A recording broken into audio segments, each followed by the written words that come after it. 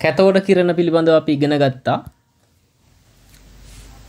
කැතෝඩ කිරණ රිනාරෝපිතයි එතනින් එහාට ගිහිල්ලා අද අපි ඉගෙන ගන්නේ ධන කිරණ පිළිබඳව.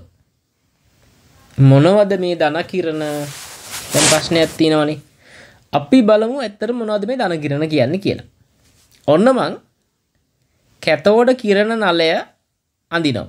මේක පොඩ්ඩක් වෙනස් කළා තමයි අපි දැන් අඳින්නේ. බලමු මොනවදේ වෙනස්කම් කියලා දැන්. මේ විදියට කැතෝඩ කිරණ නලේ මෙන්න මේ හරියෙන් මම කැතෝඩය ඇඳ ගන්නවා. මේ හරි. ඔන්න කැතෝඩය. හරි. මම තියෙනවා. ඇනෝඩය මම මෙතනින් ඇඳ ගන්නවා. මෙන්න ඇනෝඩය ඇඳගත්තා. හරි. දැන් මේකට විද්‍යුත් සැපයුම අපි දෙන්න එපැයි. හරි විදිහටම දෙන්න ඕන. ඒකත් මන් දෙන්නම් මෙන්න මේ විදියට. අපි එකට භාවිතා කරමු විද්‍යුත් සැපයුම දෙන්න තැඹිලි පාට වගේ. හරි. ඔන්න විද්‍යුත් සැපයුම ලබා දෙනවා. මම මෙතනින් සම්බන්ධ කරන්නේ. හරි. මේ විදිහට ලබා දෙනවා.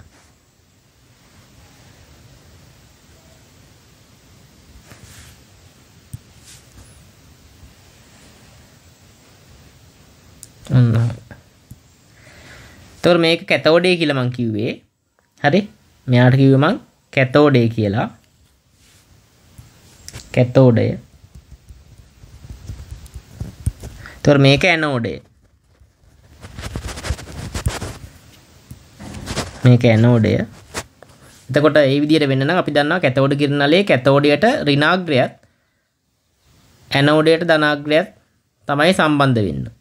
ඇත්තරම කියනවනම් ඇනෝඩේ කියන්නේ ධනාග්‍රය සම්බන්ධ ඉලෙක්ට්‍රෝඩේ කැතෝඩේ කියන්නේ ඍණාග්‍රය සම්බන්ධ වන ඉලෙක්ට්‍රෝඩේ. හරි. දැන් ඔන්න අධික වෝල්ටීයතාවයක් වෝල්ට් 15000ක් වගේ ලබා දෙනවා. කැතෝඩ කිරණත් නිපදවන්න සුදුසු මට්ටමේ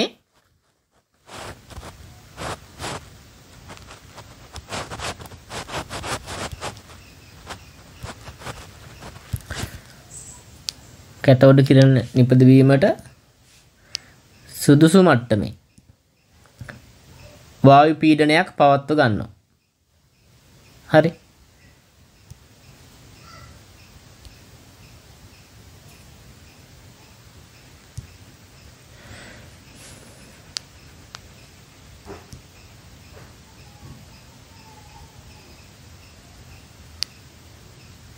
ඔන්න රික්ත පොම්පයත් මං ඇන්දා තැන් මෙන්න මේ වැඩත් තමයි කරන්නේ. මේ තියෙන දැන්වාට පේනවා. මෙතන තියෙන කැතෝඩේ. සොරි අපි කැතෝඩේ ටිකක් හොඳට පාට කරගොම්ම එහෙම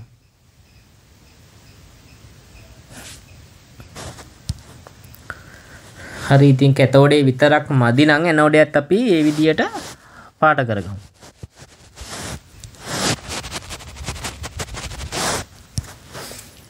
හරි. දැන් මේක මේ වෙනස් විදියට හදලා මෙන්න මේ කැතෝඩේ සිදුරු කර ඇත්තටම කළේ සිදුරු කරපු කැතෝඩයක් තමයි මෙතනට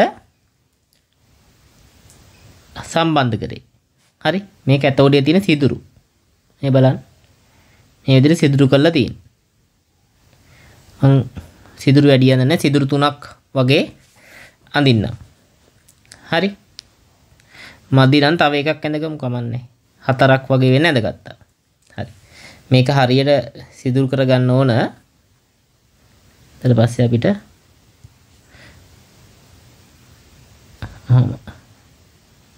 මහර ලස්සන්ට සිදුරු කරගන්න මේ මේ කැඩිල ගැටලව තිහිද ම මේක පැහැදිලිවෙන එක හදනවා. හරි?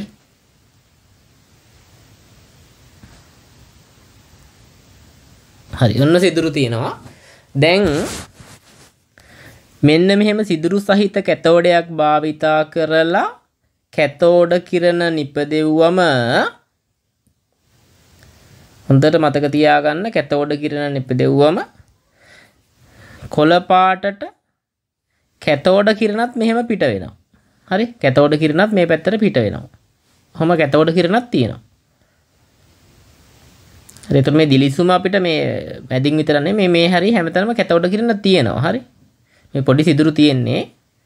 එතකොට මේ කැතෝඩ කිරණ මේ මැද හිස්ස වගේ එහෙම ලකුවට පේන්නේ නැහැ. කොහොම හරි කැතෝඩ කිරණ මේ ටිකේ තියෙනවා. හරි. දැන් සරල රේඛීය වෙනවා නම් මේ ටිකේ මැද නෑ නේද කියලා හිතනවා ඇති. එතකොට මේ ඇත්තටම කැතෝඩයට සාපේක්ෂව මේ සිදුරු ටිකක් කුඩායි. එතකොට මේ අපිට ඇත්තටම හිඩසක් බලා ගන්න අමාරුයි. දිලිසුමක් නෙමේක. ඒ නිසා. හරි ඔහොම යන අපිට ඉතින් ඒ ගැන මේ හරිය හැසිරීම මෙන්න මේ කලාපේ කැතවුඩ කිරණ තියෙන කලාපේ හැසිරීම ගැන අහන්නේ නිසා ඒක ගැන කලබල වෙන්න එපා දැන් බලන්න විතර පොඩි වැරදුකුත් වෙලා තියෙනවා මේ කැතවුඩේ මෙහෙම ඒක අයින් කරමු නැත්නම් කැතයිනේ. උඩට. කැතවුඩ කිරණ ඇවිල්ලා මේ උඩින් යනවා. මෙතන කැතයි වගේ. ඒ නිසා මම මෙහෙම කරේ. හරිනේ? හරි. දැන් මේක විශේෂ දේ මේක නෙමෙයි. මේ සිදුරු තුලින් එළියට ලා රතු පාට එහෙම නැත්නම් රෝස පාට කිරණ සමූහයක් මේ විදිහට එළියට ආවා. වහලේ සිදුරු සිදුරු තුලින් හිරු එළිය වැටෙනකොට අපිට ඒ ඒ ඉරේලිය යන ගමන් මාර්ගය අපිට පේන්නේ මේ වගේනේ. දැන් දුමක් එහෙම තියෙන කුස්සියක් එහෙම තිබෙන කෙරකට මතක ඇති දැන් සාමාන්‍යයෙන් ලිපපත්තු කරලා දුම් යනකොට ඒ වහලේ තියෙන සිදුරක්කින් සූර්යාලෝකයේ ඇතුළට එන අවස්ථාවක ඒ දුම නිසා ඒ ආලෝකය ගමන් කරන මාර්ගය අපිට නාලයක් විදිහට පේනවා. සාමාන්‍යයෙන් දුමක් තියෙන වෙලාවක රාත්‍රියේ වුණත් චෝච් එකක් වුණත් අපිට ඇල්ලුවොත් ඒකේ ආලෝකය ගමන් කරන මාර්ගය සාමාන්‍යයෙන් දල වශයෙන් හරි නාලාකාරව පේනවා. ඒ විදියට මෙතනත් මෙන්න මේ විදියට සිදුරු තුලින් එළියට කිරණ කදම්බා ආවා. ඒව නාලාකාරව දිස්සුණා. හරි. ඉතින් මේ කිරණ වලට මේ නාලාකාරව දිස්වීම නිසා මුලින්ම කිව්වේ නාල කිරණ කියලා. මුලින්ම කිව්වේ නාල කිරණ කියලා. හරි. නාල කිරණ කියලා කිව්වේ. ඉතින් මේවට පරීක්ෂණ කරගෙන යද්දී පරීක්ෂණ කරගෙන යද්දී නාල කිරණ හරි මේක ධනාරෝපිතයි කියලා හොයාගත්තා විද්‍යුත් ශේෂියක් තුලින් යවුවහම ඍණාරෝපිත තහඩුව වෙත තමයි උත්ක්‍රමණය වුනේ හරි ඍණාරෝපිත තහඩුව වෙත උත්ක්‍රමණය වුණා ඒ නිසා පසුව මෙයට ධන කිරණ කියලා කියන්න පටන් ගත්තා. එතකොට නාල කිරණ කියලා මුලින් කිව්වා. පස්සේ ධන කිරණ කියලා කිව්වා. ඉතින් මොකක් කිව්වත් මේ දෙකම එකයි. හරි. එතකොට ඔන්න ධන කිරණ හොයාගත්තා. ඇතරම කවුද මේක කළේ? රදර්ෆර්ඩ්ගේ ගෝලයෙක් වුණ ගෝල්ඩ්ස්ටයින් විසින් තමයි මේක කළේ.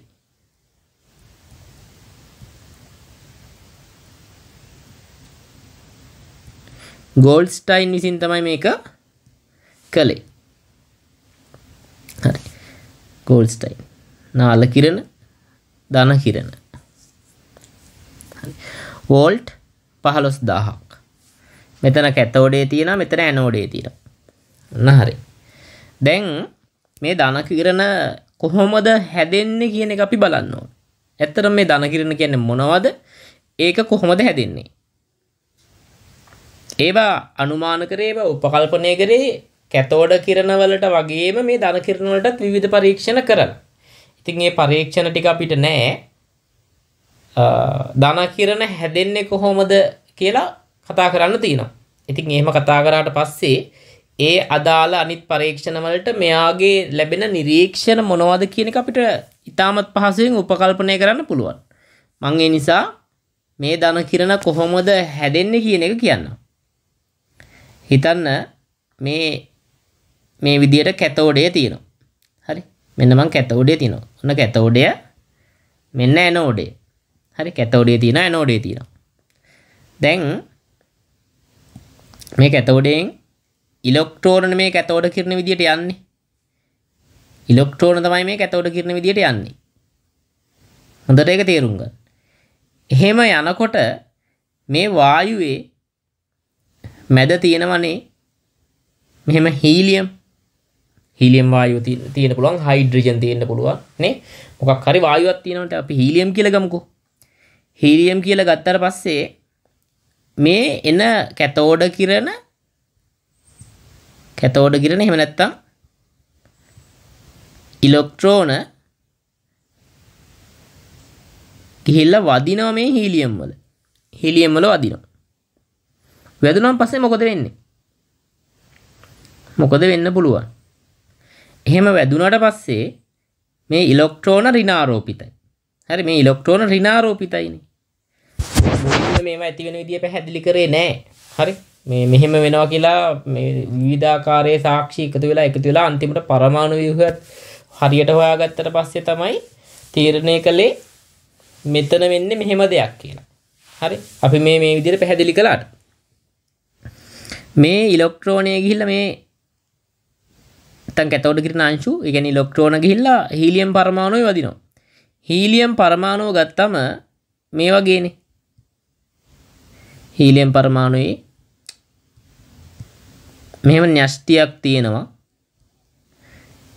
ඒ වගේම වටේ ශක්ති මට්ටම් තියෙනවා. පළවෙනි ශක්ති මට්ටම දෙවනි ශක්ති මට්ටම ඔහොම තියෙනවා. එතකොට ඉලෙක්ට්‍රෝන දෙකයිනේ තියෙන්නේ. ඒ දෙකම තියෙන ඉලෙක්ට්‍රෝන දෙකම මේ විදියට පළවෙනි ශක්ති මට්ටමේ. පළවෙනි ශක්ති මට්ටමේ තමයි මේ ඉලෙක්ට්‍රෝන තියෙන්නේ. දෙකම තියෙන්නේ පළවෙනි ශක්ති මට්ටමේ. ඇත්තටම මේ තැන දෙකක නෙමෙයි යුගල් වෙලා කොහොම තියෙනවා. හරි ඉලෙක්ට්‍රෝන යුගල් දෙක කොහොම තියෙනවා. හරි ඒක කාක්ෂිකයයි ඒ කාක්ෂිකය තුල තියෙනවා. දැන් ඒතකොට මේ දෙවෙනි ශක්ති මට්ටමක් ඇන්දට වැඩක් නැහැ. දෙවෙනි ශක්ති මට්ටමක් තියෙනවා ඒක ඉලෙක්ට්‍රෝන නෑනේ නිසා අපි අඳින්න අවශ්‍ය නෑ මෙතන හරි දෙවෙනි ශක්ති මට්ටමක් තියෙනවා හැබැයි ඒක ඉලෙක්ට්‍රෝන නෑ ඒකට ශක්ති මට්ටම නෑ වගේ තමයි හරි මොකද්ද මේක නිකන් අර මේසයක් වගේ භෞතික දෙයක් නෙමෙයිනේ ශක්ති මට්ටම කියන්නේ උපකල්පිත යම්කිසි මට්ටමක් ඒ මට්ටමේ ඉලෙක්ට්‍රෝන තියෙන්න පුළුවන් එහෙම ඉලෙක්ට්‍රෝන තිබුණොත් තමයි ඇත්තට මේ ශක්ති මට්ටම තියනවා කියලා අපි සලකන්නේ හරි ශක්ති මට්ටමක් විදියට අපි ගණනය කිරීම වලට යොදාගන්න එක ඉලෙක්ට්‍රෝන එතන තියෙනවා නම් විතරයි. හරි. දැන් මේ ඉලෙක්ට්‍රෝන ඍණාරෝපිතයිනේ. මේ ඉලෙක්ට්‍රෝන ඍණාරෝපිතයි. ඉතින් මේ ඍණාරෝපිත ඉලෙක්ට්‍රෝන වලට ඍණාරෝපිත කැතෝඩ කිරට ඇවිල්ලා වැදුනම හරි? මෙහෙම සංඝට්ටනය වුණාම මොකද වෙන්නේ? මේ වේගයෙන් කැතවඩ කිරන ගමන් කරන මොකද අධික විභවයක් තියෙන්නේ මෙතන. ලොකු විද්‍යුත් විභවයක් සපයනවා ඉලෙක්ට්‍රෝඩ දෙකට. හරි? එතකොට මේක කැතෝඩය. මේක ඇනෝඩේ හරි. එතකොට මොකද වෙන්නේ? මේ ඉලෙක්ට්‍රෝන ගැලවෙනවා. මොකද මේකින් ඇවිල්ලා මේ ඍණාරෝපිතයක මෙතන ඍණ ආරෝපිත තව ඉලෙක්ට්‍රෝනයක් ගාවට එනකොට මේ ඉලෙක්ට්‍රෝනත් ඍණ මේ ඉලෙක්ට්‍රෝනත් ඍණ. එතකොට එක ජාති ආරෝපණ විකර්ශණය වෙනවනේ. මේ ඉලෙක්ට්‍රෝන අන්න ගැලවිලා විසි වෙනවා හරි? ගැලවිලා විසි වෙන ගැලවිලා යනවා. මේ ඉලෙක්ට්‍රෝන ගැලවිලා යනවා. ඔන්න ඉලෙක්ට්‍රෝන ගැලවුණා. එතකොට මේ ගැලවිච්ච ඉලෙක්ට්‍රෝනත් මොකද වෙන්නේ? ධනාරෝපිත ඇනෝඩේ වෙත ගමන් කරනවා. කැතෝඩ කිරණත් එක්ක එකතු වෙලා ගමන් කරනවා ඉතින් කැතෝඩ කිරණ අංශුම තමයි ඒ නිසා ඇත්තටම මේ වායු වලින් ඉලෙක්ට්‍රෝන ගැලවෙනවා හරි මොන වායුව දැම්මත් මේ විදියට ගැලවෙන ඉලෙක්ට්‍රෝනනේ. එතකොට ඒ ඉලෙක්ට්‍රෝන තමයි කැතෝඩ කිරණයක් එකතු වෙන්නේ. ඒකනේ වායුව මොකක් වුණත් මේ ඇතුලේ භාවිතා කරන විසර්ජක නලය ඇතුලේ භාවිතා කරන වායුව කුමක් වුවත් කැතෝඩ කිරණ වල ඉබෙදීම එම් අනුපාතය වෙනස් වුණේ නැහැ. ඒකට හේතුව බලන්න කැතෝඩ කිරණ වලට දාලා ඉලෙක්ට්‍රෝනත් මේ නිපදවන්නේ ගොඩක් දුරට මේ වායුයි. හරි. මේ එතනින් ගැලවිලා එනවා. ඒත් එක්කම විභවය නිසා මේ වායුනුත් ගැලවෙනවා හරි දැන් මෙහෙම ඉලෙක්ට්‍රෝන එකක් ගැලවෙනවා ඒ විදියට ඇති වෙනවා දැන් එකක් ගැලවුණාට පස්සේ ඇති වෙන්නේ මෙහෙම හීලියම් ප්ලස් එතකොට තව ඉලෙක්ට්‍රෝනයක් තියෙනවා ඒකෙත් තව ගැවිලා මේ වැදිලා මේ වගේ ඉලෙක්ට්‍රෝන ඇවිල්ලා කැතවට කිරණ ඇවිල්ලා වැදුනම ඒවත් ගැලවිලා යනවා. ඒවත් ගැලවිලා යනවා. එතකොට ඒ ඉලෙක්ට්‍රෝනත් මෙහෙම ඇනෝඩ් එක කරා යනවා. එතකොට ඉතුරු වෙන්නේ මොකක්ද? අන්තිමට ඉතුරු වෙන්නේ අන්තිමට ඉතුරු වෙන්නේ හීලියම් 2+ කියන අයනේ. හීලියම් 2+ කියන අයනේ. හරි. දැන් මේ හීලියම් 2+ කියන අයන වලට මොකද වෙන්නේ? හරි. දැන් මම මේ පැත්තට මේ ඊතල දාලා ලිව්වේ මාර මේ පරිවර්තනයක් ප්‍රතික්‍රියාවක් විදිහට. නැතුව මේ ඇනෝඩේ පැත්තට ධන අයනේ ගමන් කරනවා කියන්න නෙමෙයි. ඒ නිසා මම ඒක මකනවා. හරි? එතකොට ඔයාලට තේරෙන්න ඕන අන්තිමට මෙතන ඇති වෙන්නේ මෙහෙම ගැලවුණාට පස්සේ. හරි? අන්තිමට ඇති වෙන්නේ හීලියම් අයන. කියන්නේ ධන අයන ඇති වෙන්නේ. හරි? වායුවෙන් ඉලෙක්ට්‍රෝන ගැලවුණා ධන අයන ඇති වෙනවා අන්තිමට. එතකොට මේ ඇති වෙන ධන අයන ඍණාරෝපිත කැතෝඩෙන් වේගයෙන් ආකර්ෂණය කරනවා වේගයෙන් ආකර්ෂණය කරන. මොකද අධික විද්‍යුත් විභවයක් තියෙනවා. ඒ නිසා අධික ලෙස තොරණය වෙලා වේගයෙන් ඇවිල්ලා කැතෝඩය මත වැදිලා නතර වෙනවා. හරි? ඒක තමයි වෙන්නේ. වැදිලා නතර වෙලා ඊට පස්සේ ආයි කැතෝඩේ ඉලෙක්ට්‍රෝන නම් වායු බවට පත් වෙලා එහෙම මෙහෙම යනවා. එච්චර දුර අපිට පැහැදිලි කරගන්න අවශ්‍ය නැහැ. නමුත් අපි ඒ පිළිබඳව දැනන් සිටිය යුතුයි. ඒ කියන්නේ එතකොට අපිට පැටලෙන්නේ හරි නැත්තම් හිතනවනේ මෙහෙම දිගටම දිගටම මෙහෙම වෙලා හීලියම් වායු ටික නැති වෙලා යනවනේ. එහෙම කියලා. ඒ මෙහෙම වෙන අතරේ මෙතනින් ඉලෙක්ට්‍රෝන පුෂ්ටියෙන් අරන් මේ මෙතනින් කැතෝඩ යම් ඉලෙක්ට්‍රෝන නැත්තම් කැතෝඩ කිරණ පිට වෙනවනේ. අන්න ඒ පිට වෙන ඉලෙක්ට්‍රෝන වලින් කොටස ලබාගෙන නැවත වායු බවට පත් වෙනවා. හරි. මන්දනය වුණාට පස්සේ. හැබැයි දැන් මේ ගෝල්ස්ටයින් කරේ කොහොමද මේක? ගෝල්ස්ටයින් කරේ මේ විදියට සිදුරු සහිත සිදුරු සහිත කැතෝඩයක් භාවිතා කළා. සිදුරු සහිත කැතෝඩයක් භාවිතා කරා. ඇත්ත මෙතන සිදුරු අඳින්න අමාරුයි. එහෙම සිදුරු සහිත කැතෝඩයක් භාවිතා කරාම ඒ සිදුරු තුලින් එළියට මේ ධන අයන ගමන් කරන්න පටන් ගත්තා. මේ කැතෝඩේ වදින ටික නවතිනවා. ඉතුරු ටික මේ සිදුරු තුලින් එළියට මොකද වෙන්නේ? ගමන් කරනවා. සිදුරු තුලින් එළියට ගමන් කරනවා. අන්න ඒ ධන අයන කදම්බය නැත්තම් මෙතන නම් හීලියම් න්‍යෂ්ටිය තමයි ධන අයන ඉදිරි තියෙන හීලියම් න්‍යෂ්ටි කදම්බය. ධන අයන කදම්බය එළියට යනවා. අන්න ඒ ධන අයන ටික තමයි අපිට රෝස පාටට දිස්සුනේ. හරි? ඔයාට පේනවා. මේ රෝස පාට දිස්ලා තියෙනකොට නලය තුල තියෙන වායුව හීලියම් නම් හරි? නලය තුල තියෙන වායුව හීලියම් නම් මෙතන තියෙන්නේ ඉලෙක්ට්‍රෝන කොහොමද මෙතන තියෙන්නේ ධන අයන ධන අයන තමයි මේ ඇවිල්ලා තියෙන්නේ. හරි? ධන අයන කදම්බයක් විදියට එනවා. සිදුරු නැත්තම් කැතෝඩේ වැදිලා මන්දනේ වෙනවා. සිදුරු තියෙන නිසා මොකද වෙන්නේ? එළියට එනවා ඒවා. නවතින විදියක් නැහැ නේ ඒක කිරණයක් විදිහට අපිට පේනවා දැන් ඔයාලට තේරෙනවා න්‍යෂ්ටිය ඒ අදාළ පරමාණු න්‍යෂ්ටිය තමයි එතකොට මේ ධන අයන තමයි එළියට එන්නේ. ඉලෙක්ට්‍රෝන වලට ස්කන්ධයක් තියෙනවා නම් හරි මේ ධන මේ මේවටත් තියෙන්න ඕන ඔයා ප්‍රෝටෝන ගැන එහෙම දන්නවනේ තියෙන්න ඕන. ඉතින් ප්‍රෝටෝන මේවට ස්කන්ධයක් තියෙනවා. එහෙනම් කැතෝඩ කිරණ වලට කරු පරීක්ෂණ හිතන්න. මේවත් සරල රේඛියව තමයි ගමන් කරන්නේ. ඒකනේ මේ එකම විදියට මේ නාලාකාරව දිස්සෙන්නේ වාට සාමාන්‍යයෙන් තේරෙන දෙන්නේ. මේකව එහෙම සරල රේඛියව ගමන් කරන්නේ නැත්නම් මොකද වෙන්නේ? මේ අනිත් එක එක පැති වලට යන්න පුළුවන් නේ. මේ පැත්තට යන්න පුළුවන්, මෙහෙට එන්න පුළුවන්. මෙහෙට එක එක දිහාවට ගිහිල්ලා මේක මේ නාලාකාරව හරියට අපිට බලා ගන්න වෙන්නේ නැහැ. හැබැයි එහෙම පුළුවන් වෙන්නේ කැතවඩ කිරණත්, සෝරි, ධන කිරණත් සරල රේඛියව යන නිසා. ඒ වගේම ධන කිරණ වලට හබල් සැකක් තියෙන පරීක්ෂණ කළොත් හබල් සැකත් භ්‍රමණය වෙනවා. එතනින් ස්කන්ධය තියෙනවා කියලා තව තහවුරු කරගන්න පුළුවන්. හරි. එතකොට මේ ඉලෙක්ට්‍රෝනයකට වඩා කැතෝඩ කිරණ අංශුවකට වඩා මේ ධන කිරණ අංශුවක් 10 ගුණයකින් විශාලයි ස්කන්ධයෙන් වැඩි. එතකොට කොහොමත් මේ පරීක්ෂණ ලේසි. ඒවා පහසුවෙන් කරන්න පුළුවන්. ඒ නිසා අපිට ඒවා පැහැදිලි කරන්න නැහැ. හරි. හැබැයි මේකේ වෙනසක් තිබුණා. ධන කිරණවල අර සාමාන්‍ය ගුණ ටික තියෙනවා. හරි? සරල රේඛීය ගමන් මාර්ගවල ගමන් කරනවා. ඒ කියන්නේ ගමන් පතේ පාරාන්ද වස්තුවක් තිබුණොත් ඒ වගේ පැහැදිලි ධාර සහිත ඡායාරූප ඇති කරනවා. හබල්සකක් චලනය කරන්න පුළුවන්. එහෙනම් අංශුමයයි කියලා හොඳටම පැහැදිලි. විද්‍යුත් ශේෂය කරා යවුවහම ඍණාරෝපිත තහඩුව වෙත උත්ක්‍රමණය වෙනවා. ඒ කියන්නේ ඒක ධනාරෝපිත බව පැහැදිලි. හැබැයි විශේෂම දේ තමයි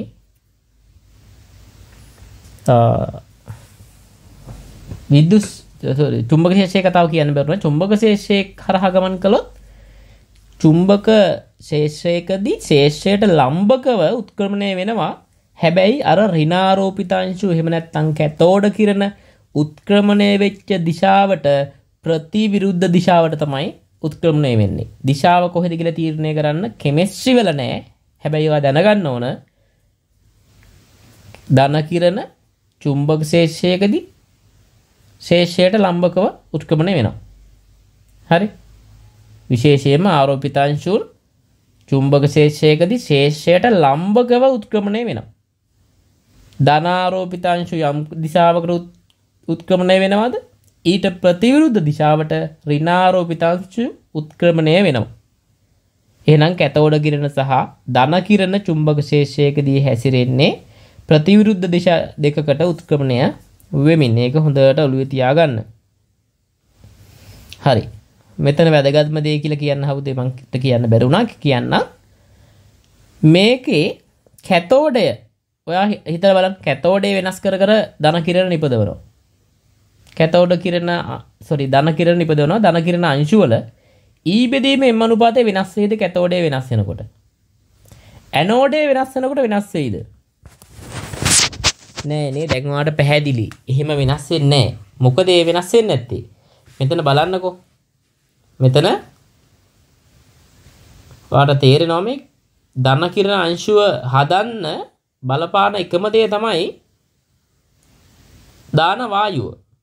එහෙනම් වායුව වෙනස් කළොත් විතරමයි මේ ධන කිරණ අංශුවල ඊ බෙදීමේ අනුපාතය ආරෝපණය බෙදීම ස්කන්ධය කියන අනුපාතය වෙනස් වෙන්නේ. හරි එහෙනම් මතක තියාගන්න වායු වර්ගය වෙනස් කරනකොට ඊ බෙදීමෙන් අනුපාතය වෙනස් වෙනවා. ඔන්න දැක්කද? හරිනේ. දැන් ওই රදර්ෆර්ඩ්ගේ ගෝලයෙක් වෙච්ච ගෝල්ස්ටයින් තමයි මේක කරේ. එහෙනම් ධන කිරණ සොයා ගැනීමේ ගෞරවය කාටද හිමි වෙන්නේ? ගෝල්ස්ටයින්ට. ඒක ලියාගන්න මොකද මේ වගේ දේවල් තමයි ගොඩක් අහන දේවල් මේ පාඩම් වලින්. ධන කිරණ සොයා ගැනීමේ ගෞරවය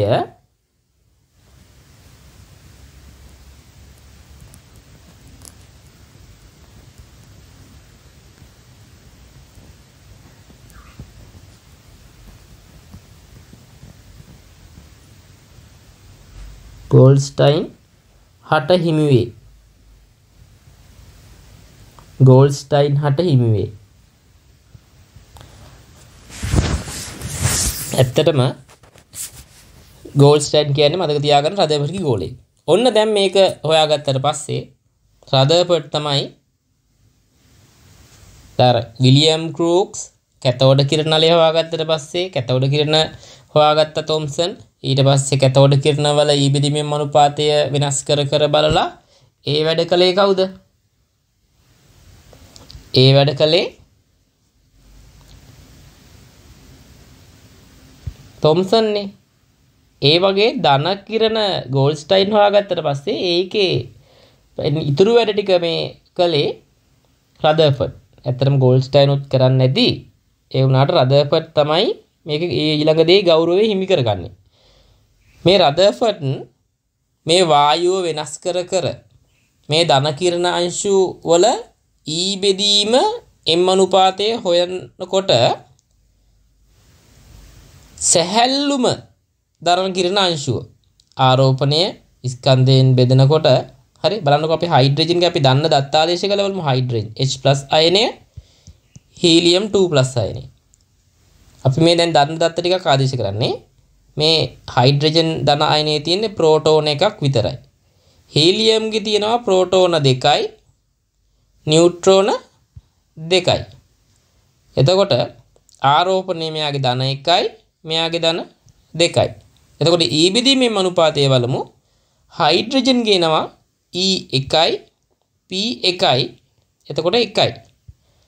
හීලියම්ගේ ආරෝපණය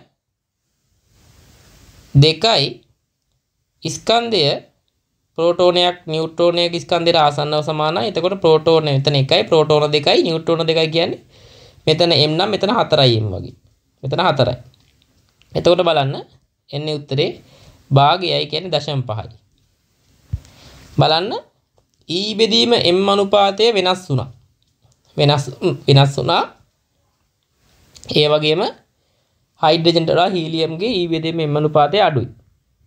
එහෙම අඩු වෙනවා කියන්නේ එතකොට ඔයාලට තේරෙනවා ස්කන්ධය වැඩි. ඒ කියන්නේ මෙතන ස්කන්ධය යටනේ තියෙන්නේ. අනිවාර්යෙන් මේක ඉස්සරහට යනකොට මේ අනුපාතය අඩු වෙනවා කියන්නේ යට තියෙන එක අනුපාතේ වැඩි වෙනවා කියන එක. ඒ කියන්නේ m වල අගය වැඩි වෙනවා. හරි? m වල අගය වැඩි වෙනවා. කොහොම වැඩි වෙන්න ගත්තා. වෙනස් වුණා. එතකොට කොහොම හරි වැඩිම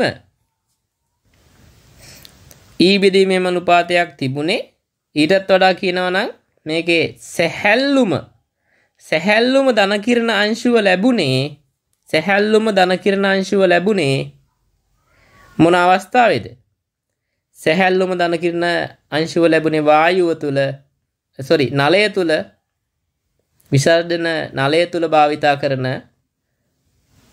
වායුව හයිඩ්‍රජන් වුණාම හරි හයිඩ්‍රජන් වුණාම තමයි සැහැල්ලුම ධනකිරණ අංශුව ලැබුණේ එහෙමනම් ඒ සැහැල්ලුම ධනකිරණ අංශුව කියන්නේ මේ H+ අයනයක්. හරි? සැහැල්ලුම ධනකිරණ අංශුව කියන්නේ මේ H+ අයනයකට. හරි? මේකට මෙයා කිව්වා ප්‍රෝටෝනේ කියලා. එහෙම කියන්න හේතුව තමයි මේ අවස්ථාවේ මේ හයිඩ්‍රජන් තියෙනකොට ලැබෙන ධනකිරණ අංශුවේ ආරෝපණය ඉලෙක්ට්‍රෝනයේ ආරෝපණයට සමාන වුණා. ඉලෙක්ට්‍රෝනයේ ආරෝපණයට සමාන වුණා. හරි? 1.6යි බිඳුවයි දෙක වැඩි කිරීම 10 ඍණ 19යි කූලෝම්. හැබැයි මේක ධන ආරෝපිතයි. ඉලෙක්ට්‍රෝනයේ ආරෝපණය නම් ඉලෙක්ට්‍රෝනයේ ආරෝපණය නම් ඒක ඍණ එකයි දශම හයයි බින්දුවයි දෙක වැඩි කිරීම දහය රින්න දහා නමයයි කූලෝ. හරි බලන්න එතකොට සැහැල්ලුම දන කිරණංශුවේ ආරෝපණය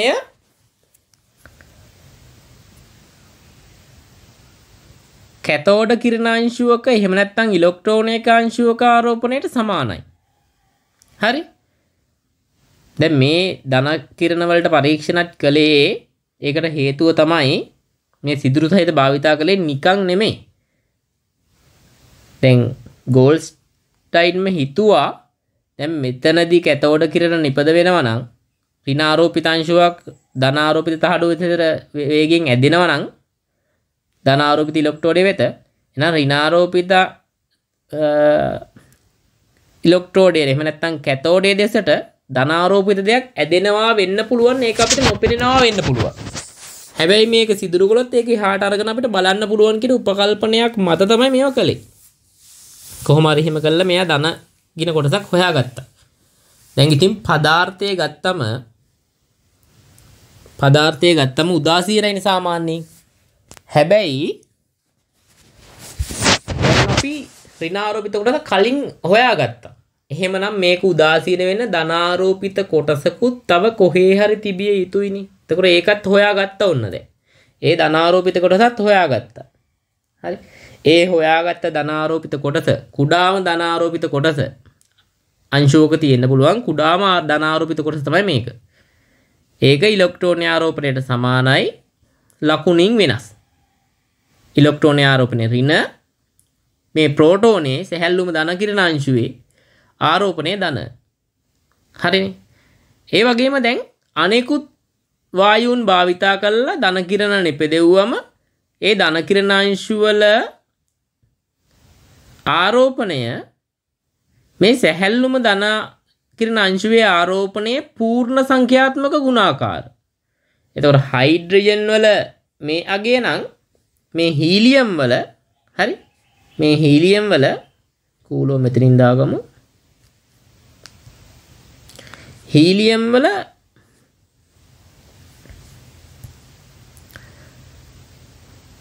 ධන කිරණංශුවේ ආරෝපණය වෙන්නේ මේ වගේ අගයක්. ධන 1.6යි බිඳුවයි දෙක වැඩි කිරීම 10 රින 19යි කූලෝම් වැඩි කිරීම දෙක. ඔහොම. හරි. එතකොට මේ ඒකකය අපිට පුළුවන් මේ පැත්තෙන් දාගන්න කූලෝම් කියලා. හරිනේ. දෙගුණයක්. පූර්ණ සංඛ්‍යාත්මක ගුණාකාර තමයි ආවේ. ඒ නිසා රදර්ෆර්ඩ් තීරණය කරා එහෙම හයිඩ්‍රජන් වායුව නලය තුල තියෙනකොට ඇතිවන ධනාරෝපිත අංශුව තමයි කුඩාම ධන ආරෝපිත අංශුව. හරි? එතකොට ධන ඍණ ආරෝපිත කොටසක ඍණ ආරෝපිත කොටසක ඍණ ආරෝපිත කොටසක කුඩාම ආරෝපණය ඉලෙක්ට්‍රෝනයක ආරෝපණයනේ.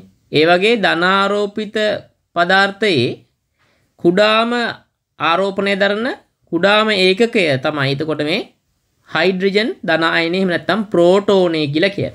හරි. එතකොට මේකට ප්‍රෝටෝනය කියලා කිව්වා. එතකොට ධන කිරණ යටතේම තමයි මේ ප්‍රෝටෝනය සොයා ගැනීම කියන එකට ආවේ. ඉතින් මේකට වෙනම මාතෘකා ලියලා වෙනම හැල්ලක් ලියලා එහෙම යන්න පුළුවන්. ඉතින් හැලිය උනාට ඒ අදාළ නෝට් එක දෙන්න. හරි? මෙතන ඒවා ලියලිය ගියොත් ටිකක් අමාරුයි පළවෙනි පාඩම් දෙක. හරි? මේ පාඩම් වලට එහෙම ලියන එක ටිකක් අමාරුයි එපා වෙනවා ඔයාලට. ඒ නිසා මම ඉස්සරහට වෙනම එහෙම අවශ්‍යයට ඒ විදිහට නෝට් එක ලියවන විදිහට ක්ලාස් එක ඉස්සරහට කරගෙන යන්න. හරි ඔන්න ප්‍රෝටෝනය හොයාගත්තා. එහෙනම් ප්‍රෝටෝනය සොයා ගැනීමේ ගෞරවය කාටද හිමි වෙන්නේ? ප්‍රෝටෝනය සොයා ගැනීමේ ගෞරවය කාටද හිමි වෙන්නේ? රදර්ෆර්ඩ්ට. රදර්ෆර්ඩ්. රදර්ෆර්ඩ්ට තමයි ප්‍රෝටෝනය සොයා ගැනීමේ ගෞරවය හිමි වෙන්නේ. මේවා මතක තියාගන්න. මොකද මේ ලෙක්චර් එක ඉවර වෙච්ච ගමන් ඔයාට වෙනම ක්විස් එකක් හම්බ වෙනවා. ඒක කරන්න ඕනේ. ඒකේ මේ වගේ පොඩි පොඩි වැදගත් කරුණු ටික තමයි තියෙන්නේ. එතකොට ඔයාට ඒව නැවත නැවත මතක් වෙනවා. හරි? නැවත කියනවා ඒ පේපර් එක එකපාරයි මම කරන්න අවසර දෙන්න. එකපාරෙන් ඒක කරන්න ඕන. 150ට වඩා ලකුණු තියෙන්න ඕන. එහෙමනම් තමයි ඔයා පාස් වෙන්නේ. මොකද මේ උගන්වන ටිකෙන් දෙන කරුණු වලින් 150ක් මේ වෙලාවේ අනිවාර්යෙන් මතක තිබිය යුතුමයි. හරි? ඒක වෙලා නැත්තම් 150ට අඩු නම් සාර්ථක නැහැ. එක්කෝ මම සාර්ථක නැහැ. මම උගන්වන විදිය අවුලක්. එහෙම නැත්නම් ඔයා අහගෙන හිටපු විදිය අවුලක් වෙන්න ඕන. හරි? කොහොම හරි පේපර් එක කරනකොට සියට පණහට වඩන තියෙන්න ඕන. හරි එහෙම නැත්තං ඔයා මේ පාඩම ගොන්නපු ටික නැවත බලල බලලා හොඳට රෙඩි වෙන්න. ඊට ඉළඟට ඊට පස්සේ නැවත මම මේ පේප එක ඇක්ටිවේට් කරනු ඒ අවස්ථාවයි වාට ඒකට නැවත මුණ දෙන්න පුළුවන්. හරි ඒ වෙලාව මම ඔයාල වෙනම ගරුප් එකට දාලා කියනවන්න දැන් ඕපන් කරලා තිනවා කැමතියට ගිහින් චෙක් කරගන්න පුළුවන් තමන්ගේ ලකුණු මට්ටම මතකය කලින් විදිහටම තියෙනවද නැත්නම් අඩු වෙලාද පිච් එක වැඩි වෙලාද කියලා බලා ගන්න පුළුවන්. හරිනේ. ඔන්න දැන් එහෙනම් ප්‍රෝටෝනයත් හොයාගෙන ඉවරයි. ප්‍රෝටෝනයත් හොයාගෙන ඉවරයි. දැන් මෙතනිනුත් ඉස්සරහට යනකොට හරි ප්‍රෝටෝනේත් ඉස්සරහට යනකොට තව ප්‍රශ්න ටිකක් වුණා මෙතෙන්ඩින් මේ අතරතුරම වෙච්ච දෙයක් තවම කියලා ඉන්න. හරි මේ අතරතුර වෙච්ච තව දෙයකුත් කියලා ඉන්නම් හොයා ගැනීමක්. හරි. විකිරණශීලීතාවය. විකිරණශීලීතාවය කියන කොටස ටිකක් වැදගත් අපිට ඊළඟ ඒවට යනකොට ඒ නිසා මේ පිළිබඳව පොඩි අදහසකින් තමයි ඉස්සරහට යන්න ඕන. මූලද්‍රව්‍ය වලින් විවිධ විකිරණ වර්ග පිට වෙලා ඒ මූලද්‍රව්‍ය වෙනස් වෙනවා. මේ වෙනස් වීම වෙන්නේ න්‍යෂ්ටියේ. මේ වෙනස් වීම වෙන්නේ න්‍යෂ්ටියේ. හරි. එතකොට මේ න්‍යෂ්ටි කතන්දර මුකුත් දන්නේ නැහැ. හැබැයි මෙහෙම දෙයක් වෙනවා විකිරණ වර්ග ටිකක් පිට වෙනවා. සමහර මූලද්‍රව්‍ය වලින්. ඒ වගේ මූලද්‍රව්‍ය වලට අපි විකිරණශීලී මූලද්‍රව්‍ය කිව්වා මේ ක්‍රියාවලියට විකිරණශීලීතාවය කියලා කියනවා. අස්ථායි නෂ්ට තුලින් ඇල්ෆා බීටා ගැමා කියලා විකිරණ වර්ග තුනක් පිට වෙනවා. ඒක තමයි විකිරණශීලීතාවය කියන්නේ. ඒවයි අර්ධයක් එහෙම ෆිසික්ස් වලදී කතා කරනවා. මෙතෙන්දි මේ විකිරණශීලීතාවය කියන දේ පිළිබඳව පොඩි අදහසක් විතරයි අපිට තියෙන්න ඕන. විකිරණ ඇඟට අහිත කර නිසා ඒ පැට්‍රිකල් එක කරන්නෙත් මෙන්න මේ වගේ. මේ වගේ. ඊයම් කුටීරයක් තුළ තමයි විකිරණ ශීලී ප්‍රබේදය තියන්නේ. හරි? විකිරණ ශීලී ප්‍රබේදය තියන්නේ ඊයම් කුටීරයක් තුළ හරි? මෙම ඊයම් කුටීරයක් තුළ තමයි බලන්න රතු පාටින්ම දාන්න මෙහෙම විකිරණ ශීලී ප්‍රබේදය තියෙනවා. මොකද එතකොට මේ වටේට ඒ විකිරණ පිට වෙනවා අඩු නිසා. හරි? නැත්තම් මේ විකිරණ මෙහෙම පිට වෙන්න පුළුවන්නේ. මේ මෙහෙම වෙන්නේ මේ ආවත් මැදින් නවතිනවා. කියන්නේ මේ හරහා යන්න අමාරුයි. ඊයම් තුලින්. හරි? ඒ නිසා තමයි එහෙම කරන්නේ. මෙහෙම විකිරණශීලී දෙයක් තියෙනවා කියලා විකිරණශීලීතාවය හොයාගත්තේ හෙන්රි බෙකරල් හරි? හෙන්රි බෙකරල් ඒ නම මතක තියාගන්න. විකිරණශීලීතාව හොයාගත්තේ විකිරණශීලීතාවය තොර මනින්නේ බෙකරල් වලින්. සම්මත එකකත් මතක තියාගන්න. හරි? ඒවනම් පිසික්ස් වලදී විතර අහුවෙන නිසා මතක තියාගන්න දෙයක් නෑ මතක හිටිනවා. හරි? දැන් මෙතනින් විකිරණ පිට වෙනවනේ ගොඩක්. මෙහෙම විකිරණ පිට වෙනවා. හරි? මෙහෙම පිට වෙනවා. හොම හොම ඔහොම පිට වෙනවා. එතකොට මේ විකිරණවල හැසිරීම පරීක්ෂා කරන්න බෑ අපිට අර තනි කදම්බයක් විදිහට නැත්තම්. එහෙම කදම්බයක් හදාගන්න අවශ්‍ය නිසා මෙහෙම දෙයක් කරනවා. ඉස්සරහින් තියෙනවා මෙහෙම මන් ත්‍රිමාණ වඳින්නේ මේ වගේ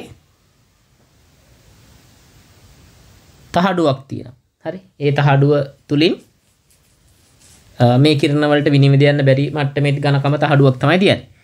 හැබැයි ඒකේ මැදින් සිදුරක් තියෙනවා. මැදින් සිදුරක් තියෙන එකක් තමයි තියන්නේ. හරි. එහෙම සිදුරක් තිව්වට පස්සේ මේ පිටවන කිරණ වලින් මේ සිදුර ගාවින් එන විකිරණ විතරයි ඉස්සරහට යන්නේ මෙහෙම. හරි මෙහෙම ඉස්සරහට යන්නේ. එයා දාලා විතරයි. එතකොට තව ඒවා ඇවිල්ලා මෙහෙ වදිනවා. ඉතින් ඒවා අවශ්‍ය නැති නිසා මම ඒවා අඳින්නේ නැහැ. හරි. ඒවත් තේරුම් ගන්න මේ විදියට. හරි. මේ ඊතල එහෙම ඉතින් අදාළ නැති නිසා මම මේ මේ විදියට දැම්මේ. අපිට ඊට වඩා ලස්සනට ඇඳ ගන්න පුළුවන්. මෙහෙම.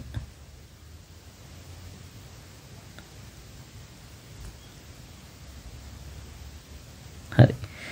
දැන් මේ විකිරණ මෙහෙම ඉස්සරහට ගමන් කරන විකිරණ කදම්බයක්. හරි. එතකොට මේකේ තියෙන දේවල් මොනවද කියලා මුලින්ම දන්නේ නැතුව තමයි මේක කරේ.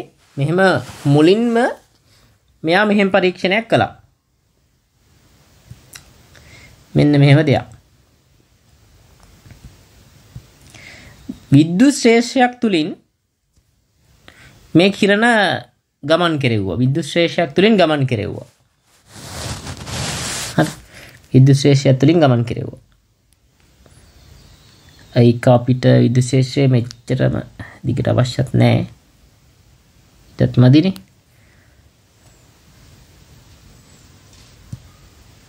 පිගමු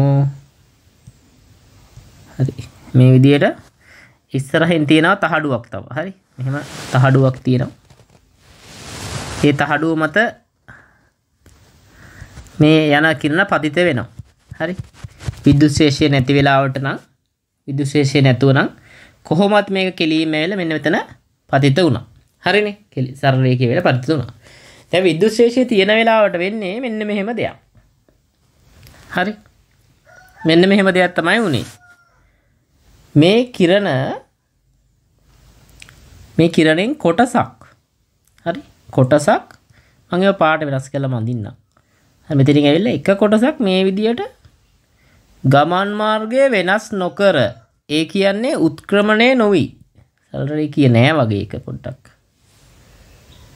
උත්ක්‍රමණය නොවි මේ විදියට කෙලින් ගමන් කරා. හරි. තවත් කොටසක් මෙතනින් අස්වරි මෙතන මට ලකුණු කරන්න බැරි වුණා. මේ විද්‍යුත් ශ්‍රේෂ්ත්‍රයේ මෙතන ඉහළ තියෙන්නේ ධන තහඩුව ධනාරෝපිත තහඩුව. මෙතන යට ඍණාරෝපිත තහඩුව. ඔහොම තියෙන්නේ. ඔහොම යනකොට තවත් කොටසක් මේ විදියට මෙහෙම උත්ක්‍රමණය වුණා. ධන තහඩුව පැත්තට. ඒ උත්ක්‍රමණය වීම නිසා මේක මෙහෙම ගිහිල්ලා මෙන්න මේ මට්ටමින් තමයි මෙතන පතිත උනේ හරි. දැන් ලොකු විද්‍යුත් ශේෂය නම් මේක මෙතෙන්ට යන්නේ නැතුව ඒ කියන්නේ මේ තහඩුව මතට යන්නේ නැතුව කෙලින්ම මේ ධන තහඩුව දෙසට හැරෙන්න පුළුවන්. හරි? ලොකු විද්‍යුත් ශේෂයක් නම්. එහෙම නෙමෙයි මේ විදිහේ සාමාන්‍ය එකක් දීලා තියෙන්නේ. හරි? එච්චර දුරට හිතන්න අවශ්‍ය නැහැ. ඊළඟට බලන්න වෙන දේ ඊළඟට තවත් වර්ගයක් මෙන්න මේ විදියට මෙහෙම උත්ක්‍රමණය වුණා. මේ විදියට. දැන් මේ මං මට හිතෙන හිතෙන විදියට ලකුණු කළා නම් නෙමෙයි. හරි. දැන් මේ ටික මං නම් කරගන්න හරි. අපි මේක නම් කරමු. කළු පාටි. මෙහෙම. මෙන්න මේ මුකුත් වෙනසක් නොවී ගමන් කර විකිරණයට මේකට ගැමා කිරණ කියලා කිව්වා. ගැමා කිරණ. හරි? ඒ තමයි ගැමා කිරණ. හරි? විද්‍යුත් චුම්බක වර්ණාවලියේ තියෙන විද්‍යුත් චුම්බක විකිරණයක් තරංගයක්. විද්‍යුත් චුම්බක තරංගයක්. එතකොට අනිත් මේ උඩට තියෙන එක බීටා කිරණ. බීටා කිරණ. ඊළඟට පහලින් ආපු එක ඍණාරෝපිත තහඩුවට ආකර්ෂණය වෙච්ච අංශුව අංශු කදම්බය. අපි හඳුන්වනවා ඇල්ෆා කිරණ කියලා. ඇල්ෆා කිරණ. හරි. එතකොට දැන් අපි මේ වගේන් ප්‍රශ්නයක් නෑ දන්නවා ගැමා කිරණ ගැන දන්නවා ගැමා කිරණ ගැන විද්‍යුත් චුම්බක තරංගයක් ඒවා ගැනත් අපි ඉස්සරහට තව කතා කරනවා. එතකොට විද්‍යුත් චුම්බක තරංග කියන්නේ ශක්ති විශේෂයක්. එතකොට ඒවාට ස්කන්ධයක් නෑ. ඒවා අඳුරගෙන තිබුණේ. හරි. එතකොට දන්නවා. එතකොට මේ විද්‍යුත් චුම්බක තරංගයක්. හැබැයි බීටා කිරණ ඇල්ෆා කිරණ කියන්නේ අංශුමයයි. විද්‍යුත් චුම්බක විකිරණයක් නම් නෙමෙයි. හරි. එතකොට ආයි මතක තියාගන්න විකිරණශීලීතාවය කියලා කියන්නේ පරමාණුවේ න්‍යෂ්ටියේ සිදුවන වෙනස් වීම. නිසා පිට වෙන කොටස්. හරි. පිට වෙන කොටස් හිතන්න මේ කාබන් පරමාණුවක් කියලා. කාබන් පරමාණුවක න්‍යෂ්ටියෙන් ඇල්ෆා බීටා ගැමා පිට වුණොත් ඊට පස්සේ ඉතුරු වෙන න්‍යෂ්ටි කොටස ගත්තොත් ඒ න්‍යෂ්ටි කොටස කාබන් නෙමෙයි. ඒ එතකොට වෙන මොකක් හරි. හරි. එතකොට වෙන මොකක් හරි. එහෙම කාබන්ව වෙලා තියෙන අවස්ථාවක් තියෙන්න පුළුවන්. ඒවා මම කියන්නම් ඒක විකිරණශීලීතාවයේදී තව එහාටකින් කතා කරන දෙයක්. හරි. ගොඩක් දුරට මේ නෂ්ටි වෙනස් වෙනවා. එක්ක සමස්ථානිකයක් බවට පත් වෙනවා, එක්ක වෙනත් මූලද්‍රව්‍යයක් බවට පත් වෙනවා. හරි. එතකොට මේ බීටා කිරණ කියන්නේ මොනවද? බීටා කිරණ ඍණාරෝපිතයි. බීටා කිරණ ඍණාරෝපිතයි. පීක නැවත ලියාගමු. බීටා කිරණ මීට කිරණ ගත්තම ඍණාරෝපිතයි. අපි ඒ කරුණු ටික දාගමු.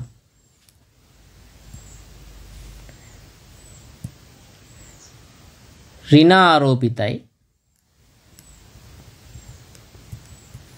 ඍණාරෝපිතයි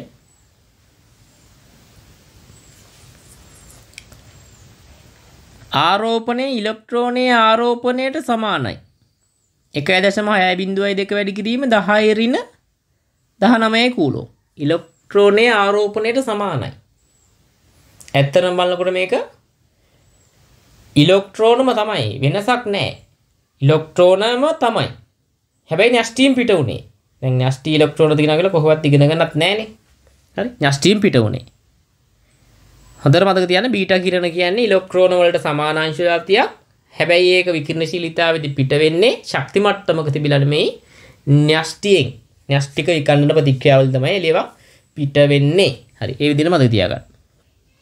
ඊළඟට අපි යන් ඇල්ෆා කිරණ වලට ඇල්ෆා කිරණ ගත්තම මේ ඇල්ෆා කිරණ මොන ආරෝපිතද මේ ඇල්ෆා කිරණ ධනාරෝපිතයි ඒකනේ ඍණ තහඩු දෙසට උත්ක්‍රමණය වුණේ ඍණ තහඩු දෙසට උත්ක්‍රමණය වුණානේ එහෙනම් මෙයා ධනාරෝපිතයි ධන ආරෝපිත. එතකොට ආරෝපණය ගත්තොත් මෙයාගේ ඇල්ෆා කිරනවල ආරෝපණය. ආරෝපණය ගත්තොත් එකයි දශම හයයි බින්දුවයි දෙක වැඩි කිරීම දහයරින දහනමයයි කූලෝම් වගේ දෙගුණයක්. ඒ වගේ දෙගුණයක්. හරි. එතකොට මෙයාගේ ස්කන්දය ස්කන්දය මේ ඇල්ෆ කිරණ අංශුවක ස්කන්දය හීලියම් ඥෂ්ටියේ හීලියන් 2+ කියන හීලියම් අයනය එතකොට හීලියම් ඥෂ්ටි කියන්නේ හීලියම් 2+ අයනනේ හීලියම් 2+ වල ස්කන්ධයට සමාන වුණා. හීලියම් 2+ වල ස්කන්ධයමයි ගත්තේ ඒ නිසා මේ ඇල්ෆා කිරණ වලට ඇල්ෆා අංශු වලට හීලියම් න්‍යෂ්ටි කියලාත් කිව්වා. හීලියම් න්‍යෂ්ටි හීලියම් න්‍යෂ්ටි හීලියම් න්‍යෂ්ටි කියලා කිව්වා. එතකොට ඇල්ෆා කිව්වොත් මේක හීලියම් න්‍යෂ්ටියක් තමයි. ඇල්ෆා කිරණ ඇල්ෆා අංශුව හීලියම් න්‍යෂ්ටිය. බීටා කිරණ කියන්නේ ඉලෙක්ට්‍රෝන. ගැමා කියන්නේ විද්‍යුත් චුම්බක විකිරණ. හරි. එතකොට විද්‍යුත් ශේෂයෙන් ආරෝපිත අංශුවක් මත ආරෝපණය සමානයි නම් එයා මත යෙදෙන බලය සමානයි. හරි? තොරණය සමානයි. ඒවා විද්‍යුත් ශේෂ පාඩමේදී ෆිසික්ස් වලදී හොඳට අහුවේ. හරි? එතකොට බලන්න මේ ඔයාලට මෙතන පේනවද මේ වෙනස? මෙතනදී මෙයා උත්ක්‍රමණය වෙලා තියෙන ප්‍රමාණයයි මෙතනදී ඇල්ෆා කිරණ උත්ක්‍රමණය වෙලා තියෙන ප්‍රමාණය වෙනස්. බීටා කිරණ වැඩි උත්ක්‍රමණයකට ලක් වෙලා තියෙනවා. ඇල්ෆ කිරණ අඩු උත්ක්‍රමණයකට ලක් වෙලා තියෙන්නේ. මොකක් දෙයකට හේතුව. අපි ඒ හේතුව දැනගන්න ඕන. ඒකට හේතුව තමයි ඇල්ෆ කිරණ බරෙන් වැඩි ස්කන්දයෙන් වැඩි. දැන් ඔයා හිතන්න ඔයාට උපරිම ගන්න පුළුවන් ශක්තියෙන් යෙදෙන බලය කොච්චර ඇද්ද කියලා යම්කිසි බලයක් පුළුවන්. අන්න ඒ බලයෙන් ඔයා මොකක් හරි තියෙන ත්‍රීවිල එකක් කාර එකක් වගේ දෙයක් තියෙනවා නිියවටල් කරලා තින තල්ලු කරනවා. ඒක තල්ලු වෙලා යනවා ඉස්සරහට. හැබැයි ඊටත් වඩා බර ඊටත් වඩා ස්කන්ධයෙන් වැඩි වාහනයක් ගත්තොත් ඒක තල්ලු කරන්න කොච්චර බලයද අමාරුයි. හරි? සමහරට පුළුවන් වුණත් කලින් තරම් වේගෙන් බෑ. එහෙමනම් තේරුම් ගන්න ඕනේ ස්කන්ධය වැඩි වෙන්න වැඩි වෙන්න එයාගේ චලිතය ස්වභාවය වෙනස් කරන්න අමාරුයි. චලිත ස්වභාවය වෙනස් කරන්න අමාරුයි. ඒකාකාර ප්‍රයෝගයෙන් ගමන් කරනවා නම් ඒකාකාර ප්‍රයෝගයෙන් ගමන් කරනවා නිශ්චලව තියෙනවා නිශ්චලව තියෙනවා. එහෙමයි. ඒක වෙන්නේ ඇත්තටම ගම්මිතාවය වැඩිවීමත් එක්ක. ගම්මිතාවය වැඩිවීමත් එක්ක. දැන් ලොකු ගලක් කන්දක් උඩින් පහළට පෙරලෙනකොට හරි මෙහෙම පහළට පෙරනවා ගලක්. දැන් මේක මේ මට්ටමේදී ඔයාට අල්ල නවත්ත ගන්න පුළුවන් වුණ මේක පහලට එනකොට මේක වේගය වැඩි නිසා ගම්මිතාවේ ගොඩක් වැඩි. එතකොට නවත්ත ගන්න බෑ. ඉස්කන්දය අඩුවත් වස්තුවක් ගත්තොත් බුලට් එකක් උන්ඩයක් ගත්තොත් මේ උන්ඩය තුවක්කෝකින් පිට වෙනකොට පොඩි ස්කන්දයක් වුණට වැඩි වේගයක්. ඒ නිසා MV ගුණ තියෙන ගම්මිතාවේ කියන්නේ. MV ගුණතේ වැඩි ගම්මිතාව වැඩි. ඒ නිසා එයාගේ ගමන් මාර්ගය අපිට වෙනස් කරන්න බෑ. ෆිල්ම් වල දිපුළුවන් වුණාට ඇත්තට ඒක කරන්න බෑ. ඒකට හේතුව ගම්මිතාවේ. එහෙනම් මෙයාගෙත් මේ ස්කන්ධ වැඩි නිසා ගම්මිතාවේ වැඩි. හරි? ස්කන්ධ වැඩි නිසා ගම්මිතාවේ වැඩි. ස්කන්ධයේ කී ගුණයකින් වැඩිද? අපි ඉස්සරහට මේවා ඉගෙන ගන්නවා. මේවා තව සංසන්දනය කරනවා. නමුත් මෙතෙන්දිත් ඒක කරලා යන්නම්. ඒක මෙතන පැහැදිලි කරගන්න ලේසි වෙයි හරි? ආයි ඉස්සරහට කරනවා ඉලෙක්ට්‍රෝන එකක ස්කන්ධය සමාන වෙනවා සොරි ඉලෙක් ප්‍රෝටෝන එකක ප්‍රෝටෝන එකක ස්කන්ධය සමාන වෙනවා ඉලෙක්ට්‍රෝන නම් 1836යි ආසන්නව 40ක ස්කන්ධයට. එතකොට හිතන්න මේ බීටා කිරණ කියන්නේ මේ ඉලෙක්ට්‍රෝනයක ස්කන්ධය. ඇල්ෆා කිරණ කියන්නේ එතකොට ඉලෙක්ට්‍රෝන නැහැ ප්‍රෝටෝන දෙකයි නියුට්‍රෝන දෙකයි. හරි? නියුට්‍රෝන දෙකයි. නියුට්‍රෝන තාම අපි හොයාගත්තේ නැහැ මේ යන පාඩමේ යන විදිහට තව එක හොයාගන්න විදිහ තියෙනවා. හරි? ඇත්තටම ඇල්ෆා අංශුවක එහෙම නැත්නම් හීලියම් නැස්ටි නියුට්‍රෝන දෙකයි ප්‍රෝටෝන දෙකයි ප්‍රෝටෝනයක ස්කන්ධය නියුට්‍රෝනයක ස්කන්ධයට ආසන්නව සමානයි. හැබැයි ඇත්තටම නියුට්‍රෝනයක ස්කන්ධය චුට්ටක් වැඩි. ඔන්න ඔයගේ කාරණා තමයි කී පොයින්ට් ඔවා මතක තියාගන්න ඕන. දැන් ලියෙන්නේ නැහැ කියලා බය වෙන්න එපා. මේවට අදාළ ප්‍රශ්න දෙනවා ඒවා මතක් වෙනවා එතකොට. හරි? මේ කියපුවා මතක් වෙනවා යාට. ඒ පිළිබඳව කිසිදු බයක් සැකයක් තියාගන්න එපා. හරි එතකොට බලන්න කොච්චර ගුණයකින් වැඩිද කියලා මේ ප්‍රෝටෝන හතරක් තියෙනවා වගේ නේද එතකොට. ස්කන්ධයේ ඉලෙක්ට්‍රෝනයක වගේ නැත්නම් බීටා කිරණ වගේ එල්පා කිරණවල ස්කන්ධයේ 1840 වැඩි කිරීම හතර ගුණය. හිතන්න කොච්චර විශාලද කියලා. එතකොට යාගේ මත ඒ ස්කන්ධය වැඩි නිසා මේ යොදන බලයෙන් ඇල්ෆා කිරණවල උත්ක්‍රමණය කරන්න ගමන් මාර්ගය සිදු කරන්න පුළුවන් වෙනස අවමයි බීටා කරන වල වැඩි. දැන් ආරෝපිත අංශුවක් විදියට ගත්තොත් විද්‍යුත් ශේෂයෙන් මේ අංශු කෙරෙහි යොදන බලය ගත්තම බීටා කිරණ වලට යෙදෙන බලයට වඩා දෙගුණයක් වැඩි ඇල්ෆා කිරණ මත යෙදෙන බලය. හරි. ෆිසික්ස් වල යෙදෙන සමීකරණය F සමානයි QE. Q කියන්නේ ආරෝපණය, F කියන්නේ බලය, ආරෝපිත අංශුව මත E කියන්නේ විද්‍යුත් ශේෂ්ත්‍රය. දැන් ඇල්ෆා සහ බීටා අංශු දෙකම ආරෝපිත අංශුන් ඇල්ෆා ධන ආරෝපිත අංශුවක් බීටා ඍණ ආරෝපිත අංශුවක්. මේකට ධන ඍණ බලපාන්නේ ඇල්ෆා වල ආරෝපණය ධන දෙකයි බීටා වල ආරෝපණය ඍණ එකයි. එහෙනම් එකයි දෙකයි ආරෝපණය දෙගුණයක් නිසා දැන් විද්‍යුත් ශේෂ්ත්‍රය සමානයි. එකම විද්‍යුත් ශේෂ්ත්‍රයනේ. E සමානයි. එතකොට බලය දෙගුණයක් වෙනවා ඇල්ෆා වල. නමුත් එයාගේ ස්කන්ධය මෙන්න මෙච්චර ගුණයකින් වැඩි බීටා කිරණට වලට වඩා 1840 වැඩි කිරීම හතර ගුණයකින් වැඩි. ඒ නිසා ඒ බලය දෙගුණ වුණාට ඒක ලොකු බලපෑමක් වෙන්නේ නැහැ. ඇල්ෆා කිරණයේ උත්ක්‍රමණය කොහොමත් අඩු වෙනවා. හරි. එතකොට ඒකයි මේ වෙනසට හේතුව. හරි. එතකොට ඇල්ෆා බීටා ගැමා කියන ටික ඒවා තේරුණා. මෙතනින් අපිට මේ ළඟ කොටසදීම වැදගත් වෙන දේ තමයි ඇත්තටම ළඟ කොටසින් වැදගත් වෙන දේ තමයි ඇල්ෆා අංශුවක් ධනාරෝපිතයි. ඇල්ෆා අංශුවක් කියන්නේ හීලියම් න්‍යෂ්ටියට හීලියම් 2+ අයනයට කියන අදහස. යන්න ඕන. විකිරණශීලීතාවය කියන්නේ න්‍යෂ්ටිය විකණ්ඩනය වෙලා අංශූන් එළියට පිටවීමයි ශක්තිය ඇතුළුව. ඒක තේරුණා නම් හරි. විකිරණශීලීතාවය කියන්නේ ඒකට කියලා. න්‍යෂ්ටිය අස්ථායි වෙනකොට තමයි මේක වෙන්නේ කියලා තේරුණා නම් අපිට ඉස්සරහට කරගන්න ලේසි හරිනේ. දැන් පදාර්ථයේ ධන කොටසක් හොයාගෙන තියෙනවා ඍණ කොටසක් හොයාගෙන තියෙනවා. ධන කොටසක් හොයාගෙන තියෙනවා ඍණ කොටසක් හොයාගෙන තියෙනවා. මේ අතර ධන ධන කොටසත් හරි ඍණ කොටසත් හරි. ධන ඍණයි තියෙනවා කියලා හිතන් ඉන්නවා. හරිනේ. දැන් මුලින්ම පරමාණුවට ආකෘතියක් තිබුණනේ.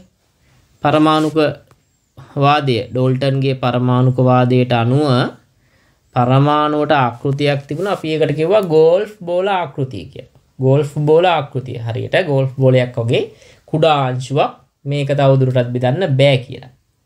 හැබැයි මේක ඉස්සරහට යනකොට යනකොට වෙනස් වුණා. දැන් ඉලෙක්ට්‍රෝනය හොයාගත්තා. ප්‍රෝටෝනය හොයාගත්තා.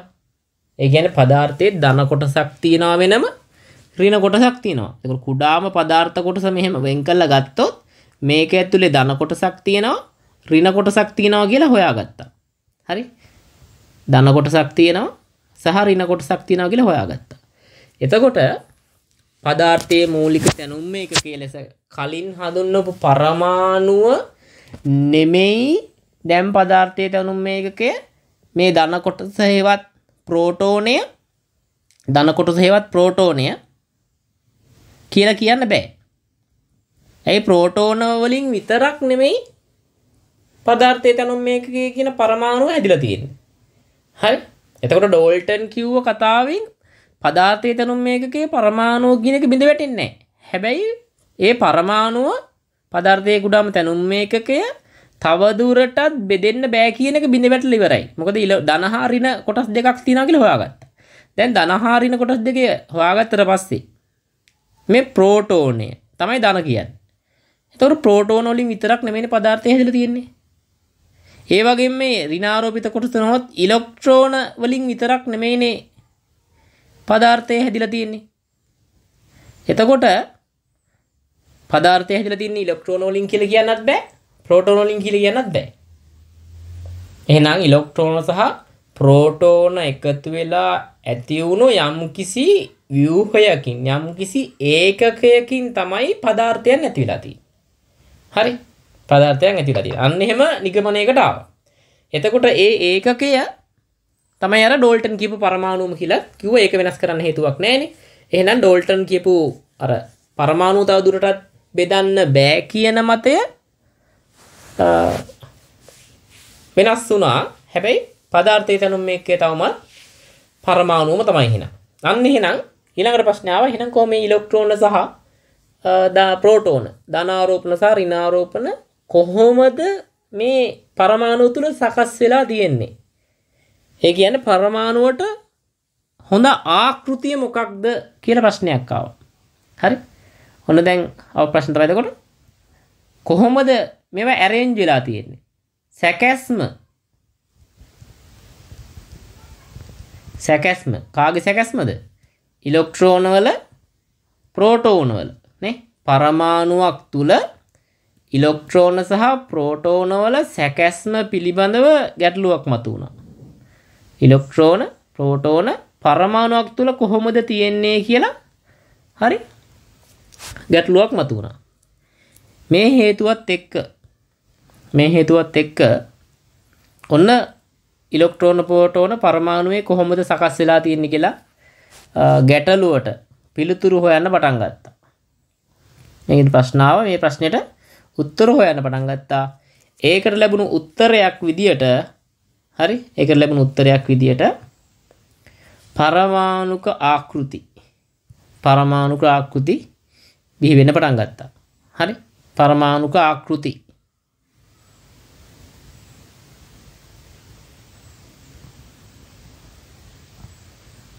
පරමාණුක ආකෘති. ආකෘති මෙහෙම බිහි වෙන්න පටන් ගත්තා. හැබැයි මේ පරමාණුක ආකෘති බිහි වුණාට පළවෙනි පරමාණුක ආකෘතිය කියලා හඳුන්වන එක ගැන පොඩි ගැටලුවක් තියෙනවා. ගොඩාක් දුරට ගොඩක් තැන්වල පළමුණිය පරමාණුක ආකෘතිය විදිහට සලකන්නේ මෙන්න මෙතෙන්දි දැන් ඉදිරිපත් කරන එක. සමහර වගේ ගෝල්ෆ් බෝල ආකෘතිය පරමාණු පළවෙනි එක කියලා තියෙනවා.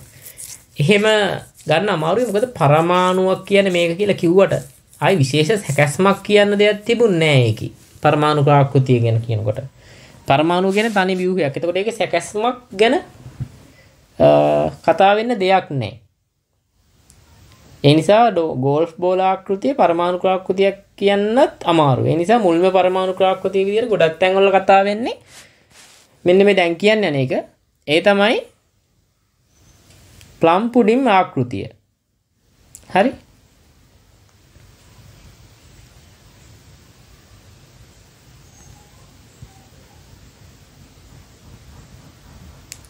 ප්ලම් පුඩින් ආකෘතිය. ප්ලම් පුඩින් ආකෘතිය.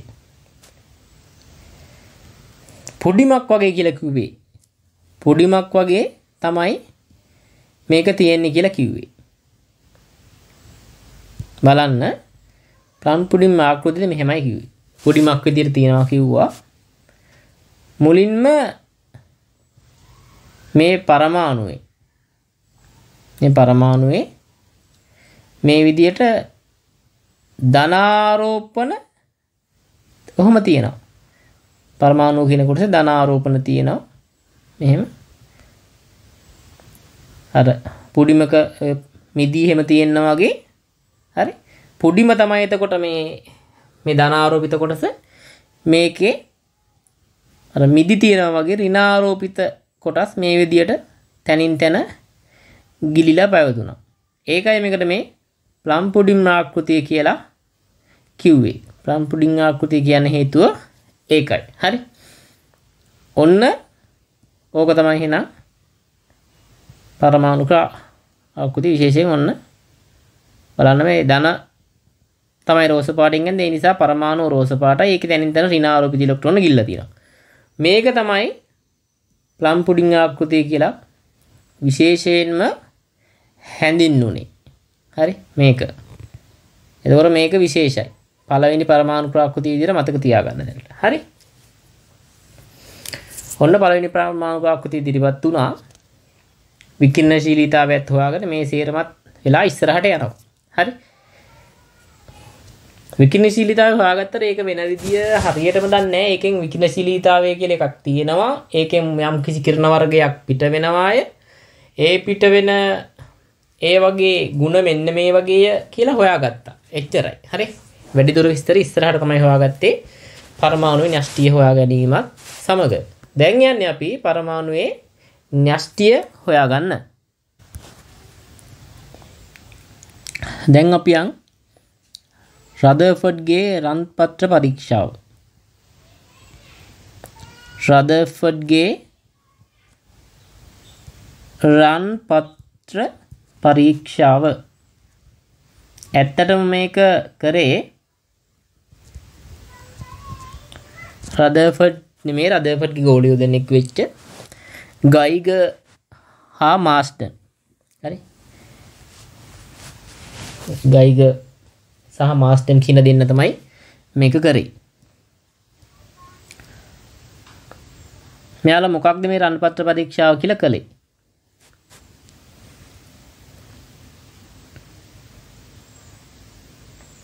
මෙතෙන්ට රන්පත්‍රයක් තුලින්.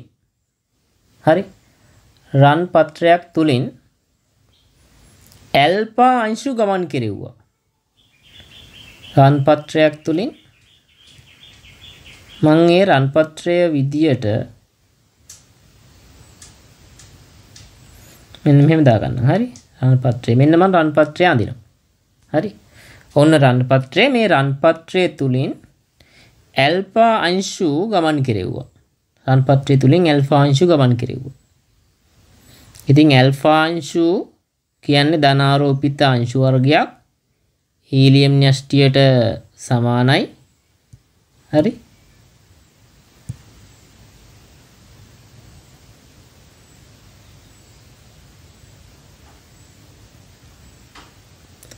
හීලියම් න්‍යෂ්ටියට සමාන. ධනාරෝපිත අංශු වර්ගයක් තමයි එතකොට ඇල්ෆා කියන්නේ. ඒ නිසා අපිට මේ විදිහට ඊයම් කුටීරයක තමයි තියන්න වෙන්නේ. තියලා අර කලින් කිව්ව විදිහටම තහඩුවක් ඉස්සරහින් තියලා අපි තහඩුවක් තියන්න ඕන. මොකද කිරණ කදම්බයක් ගන්න ඕන නිසා. නැත්තම් විහිදිලා යන්නේ. ඔක කලින් කිව්වා දැන් වාට ඒක පැහැදිලි හොඳට. හරි. මේ විදියට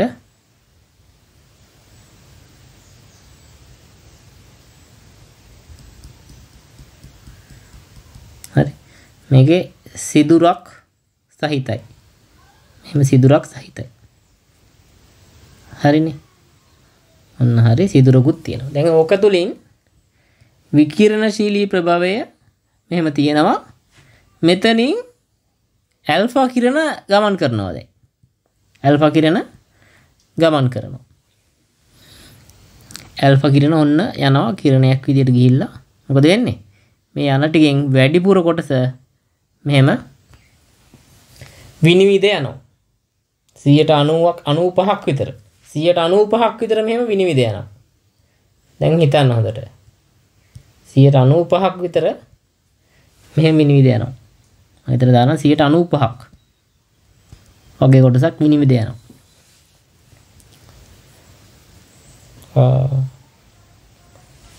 ඊළඟට මේකෙන් සාමාන්‍යයෙන් විසිදාහෙන් එකක් විතර යන කිරණ ප්‍රමාණයෙන් විසිදාහෙන් එකක් විතර. කියන අඩු ගොඩ ඉතාමත් කුඩා ප්‍රමාණයක්. සොරි දහදාහෙන් එකක් විතර.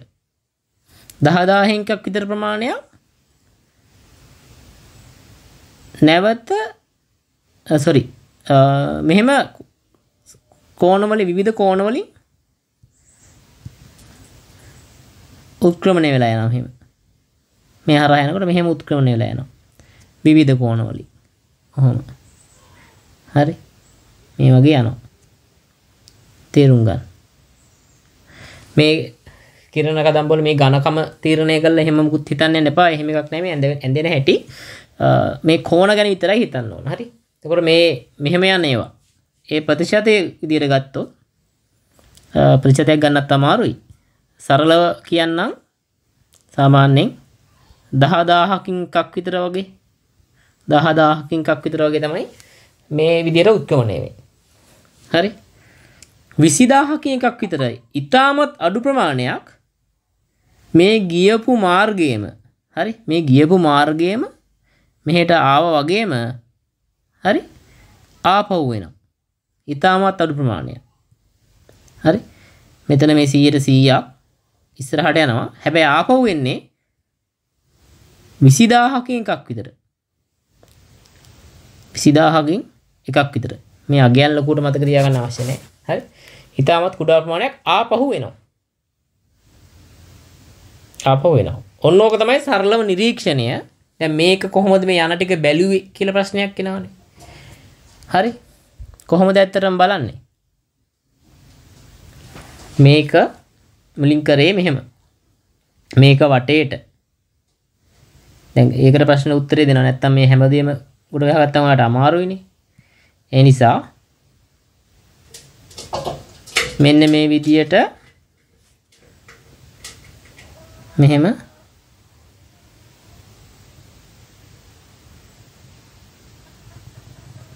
ප්‍රතිදීප්ත තිරයක් තියෙනවා. ඒ කියන්නේ ඇල්පාංශු වැදුනම ඇල්පාංශු වැදුනම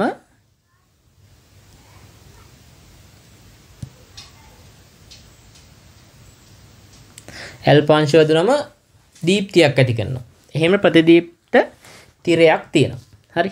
දැන් එතකොට මේක මේ වැදිලා දිලිසුමක් දෙනවා කියලා හිතන්න. එහෙනම් මේ මේ එළියට පැනලා තියෙන ටික මම පැහැදිලි කරන්න අදපු ටික. ඒ නිසා මම ඒ කොටස් ටික කඩයිරි බවට පත් කරන්නම් අර තේරුම් ගන්න ලේසි වෙන්න. හරිනේ?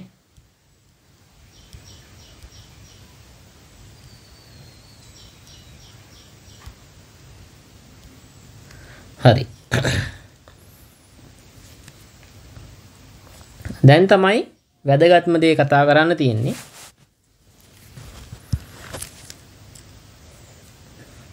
මේ ඇල්ෆාංශු ඇල්ෆාංශු කදම්බයෙන් වැඩිපුර ප්‍රමාණයක් ඇල්ෆාංශු කදම්බයෙන් විකින්නශීලී මේ ටික නම් කරගත්තොත් හොඳයි වගේ මෙතන තියෙනවා විකිරණශීලී ප්‍රභවය. මේ තියෙන්නේ ඇල්ෆාංශු කදම්බය. මේ තියෙන්නේ ප්‍රතිදීප්ත තිරය. මේ තියෙන්නේ රන් පත්‍රය නෙමෙයි ඉතා තුනී රන් පත්‍රය. තුනී රන් පත්‍රයක් ගන්න. හරි.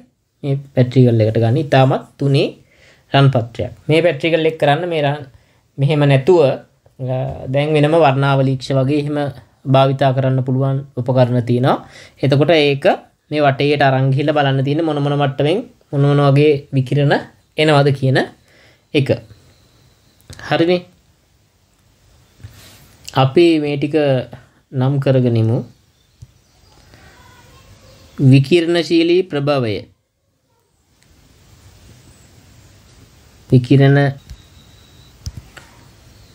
ඇල්ෆා අංශු කදම්බය. ඊළඟට ප්‍රතිදීප් තිරය. ප්‍රතිදීප්ත තිරය. ඊළඟට ඉතාතුනි රන් පත්‍රය ඉතාතුනි රන් පත්‍රය හරිනි. එතකොට මේකේ ප්‍රධාන නිරීක්ෂණ මොනවද? ප්‍රධාන නිරීක්ෂණ තුනයිනේ. අපි ඒ ටික මෙහෙම දාගමු. අංක 1 අංක 2 අංක 3 ප්‍රධාන නිරීක්ෂණ තුනයි. මෙහෙම ලියාගමු. පළවෙනි එක තමයි 95ක් තුනි රන්පත්‍රය හරහා ගමන් කරා. 95ක් රන්පත්‍රය හරහා ගමන් කරා. ඊළඟට සාමාන්‍යයෙන් 10000 එකක් විතර කුඩා ක්‍රෝණ වලින් උත්ක්‍රමණය වුණා. කුඩා කෝණ වලින් උත්ක්‍රමණය වුණා. 20000 එකක් විතර ගියපු මාර්ගයේම ආපහු ආවා. මෙන්න තියෙනවා ප්‍රධාන නිරීක්ෂණ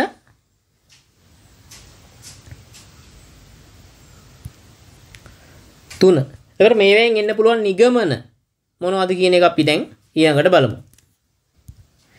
මේ නිරීක්ෂණ වලින් යන්න පුළුවන් නිගමන 195ක් ඇල්ෆාංශුන් ඇල්ෆාංශු කියන්නේ ස්කන්ධයක් තියෙන දෙයක් කියලා දන්නවා අවකාශය ඉඩක් ගන්න දෙයක් කියලා දන්නවා එහෙනම් ඇල්ෆාංශු වලට රන්පත්‍රය හරහා යන්න නම් එයාට ඉඩක් ඕන එහෙමනම් ඇල්ෆා අංශු වලට ගමන් කරන්න පුළුවන් වෙන්නේ රන්පත්‍රේ හිස් අවකාශ තියෙන නිසා එහෙනම්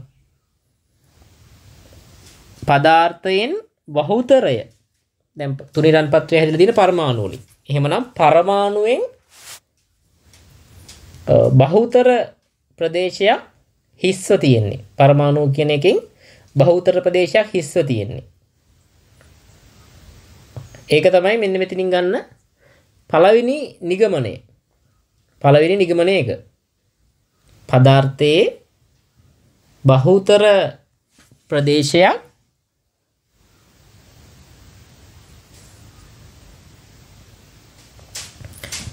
හිස් අවකාශයක් විදියට තියෙනවා. අපි ලියාගමු එහෙනම්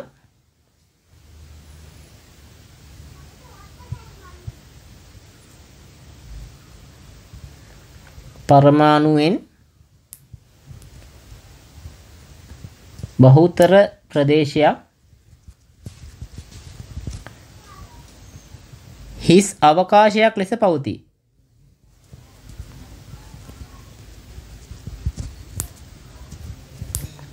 හිස් අවකාශයක් ලෙස පවතී. එතකොට දහදාහෙන් එකක් විතර ප්‍රමාණයක් සුළු උත්ක්‍රමණයක් උත්ක්‍රමණයක් සහිතව රන්පත්‍රය හරහා ගමන් කර. ඇයි මේ උත්ක්‍රමණයට හේතුව. ඇල්පාංශු මත බලයක් එදිලා ඇල්ප කිරණ මත බලයක් එදිලා. ඒකට හේතුව න්‍යෂ්ටිය අසලින් යනකොට දැන් පරමාණු අපි ඇඳගත්තොත් මේ විදියට මෙන්න හරි මේ ඉලෙක්ට්‍රෝන තියෙනවා දැන් න්‍යෂ්ටිය ධනාරූපී දෙන ඒ ගාවින් මෙහෙම ඇල්ෆාංශු යනකොට මොකද වෙන්නේ ඇල්ෆාංශු යනකොට ඇල්ෆාංශුවෙන් සොරි න්‍යෂ්ටියෙන් ධනාරූපිතයි ධනාරූපිත ඇල්ෆාංශුව විකර්ශනය කරනවා. එතකොට ඒක පොඩ්ඩක් උත්ක්‍රමණය වෙනවා. ගමන් මාර්ගය වෙනස් වෙලා යනවා ඒවම රූප සටහන් එතුලින් ඉස්සරහට පැහැදිලි කරනවා. හරි? දැනට දර වශයෙන් තේරුම් ගන්න.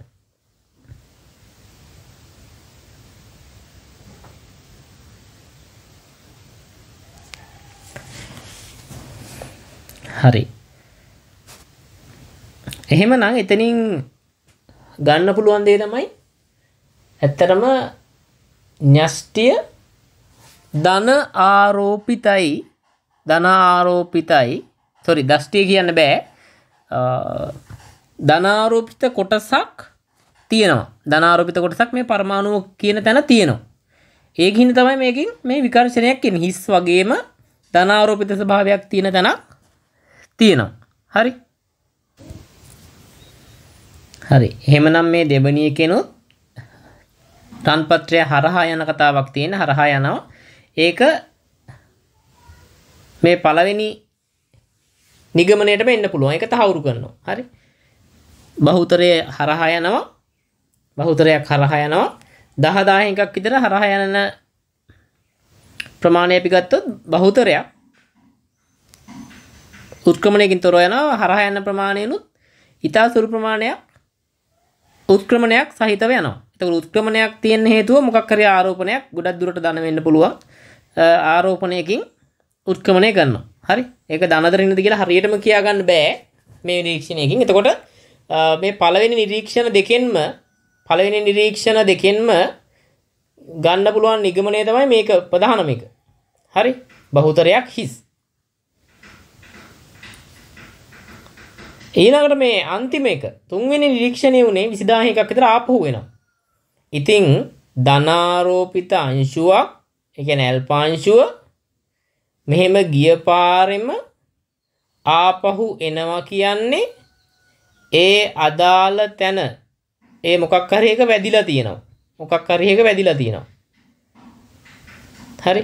එක්කෝ මේක ඍණාරෝපිතයි එක්කෝ මේක ධනාරෝපිතයිනේ. ওই දෙක විතරයි දැනට හොයාගෙන තිබුණේ.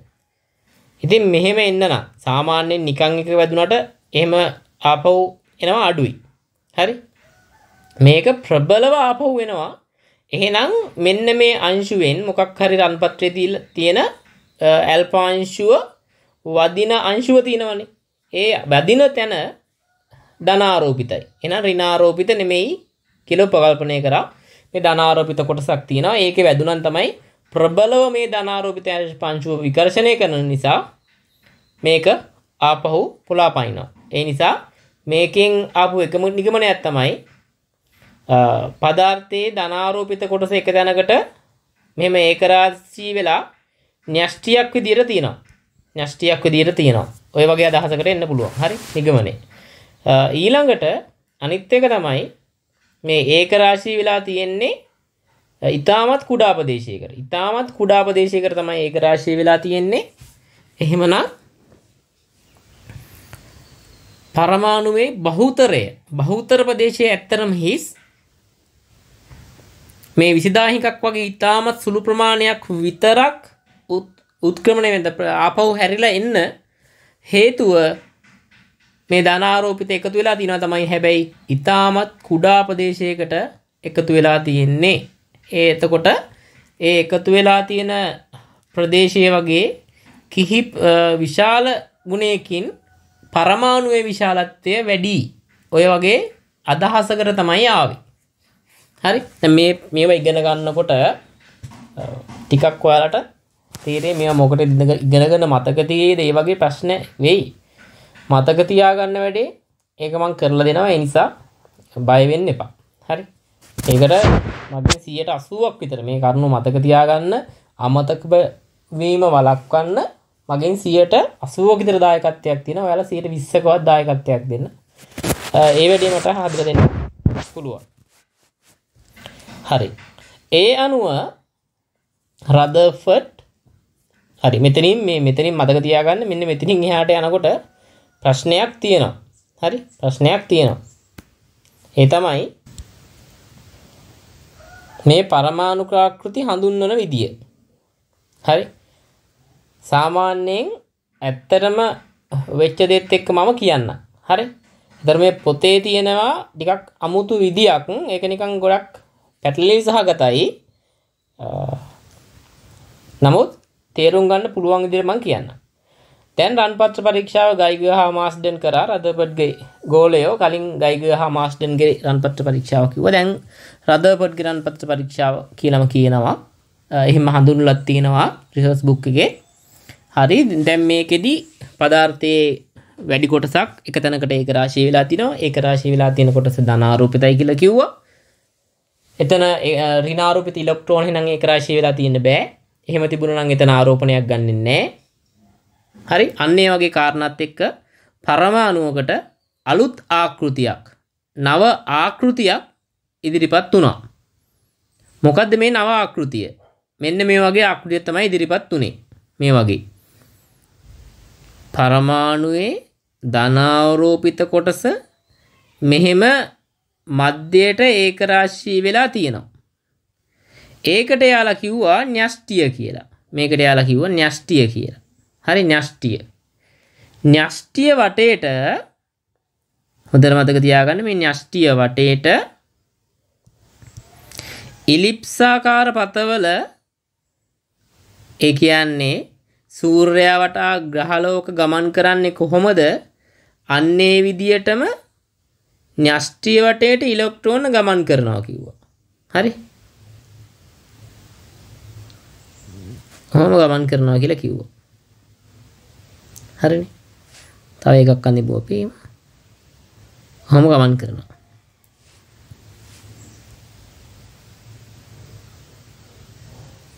අන්න හරි. ඒතර මේක තමයි ඊළඟ පරමාණු ආකෘතිය ඊළඟ පරමාණු ආකෘතිය මේක හැඳින්නුනේ පළවෙනි පළමු න්‍යෂ්ටික ආකෘතිය පළවෙනි පරමාණු ආකෘතිය විදිහට ගොඩාක් වෙලාවට ටොම්සන්ගේ ප්ලම් පුඩින් ආකෘතිය සලකනවා. හැබැයි පළමු න්‍යෂ්ටික ආකෘතිය වන්නේ මෙන්න මේ ආකෘතිය. පළමු න්‍යෂ්ටික ආකෘතිය. පළමු න්‍යෂ්ටික ආකෘතිය වෙන්නේ මේක. හොඳට මතක තියාගන්න. පළමු න්‍යෂ්ටික ආකෘතිය. පළමු න්‍යෂ්ටික ආකෘතිය තමයි මේ. ඊළඟට මේකේ නම සූර්යයා වටා ග්‍රහලෝක ගමන් කරන්නේ යම්සේද එලෙසම ධනාරෝපිත අංශු එකතු වෙලා හැදිච්ච න්‍යෂ්ටිය වටා ඍණාරෝපිත ඉලෙක්ට්‍රෝන ගමන් කරනවා කියලා කිව්වා. ඉලෙක්ට්‍රෝන ගමන් කරනවා කියලා කිව්වා. හරි?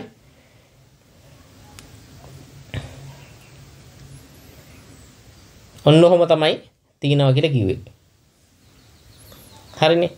එතකොට මේකට කියපු නම මොකක්ද? මේ ආකෘතියට කියපු නම තමයි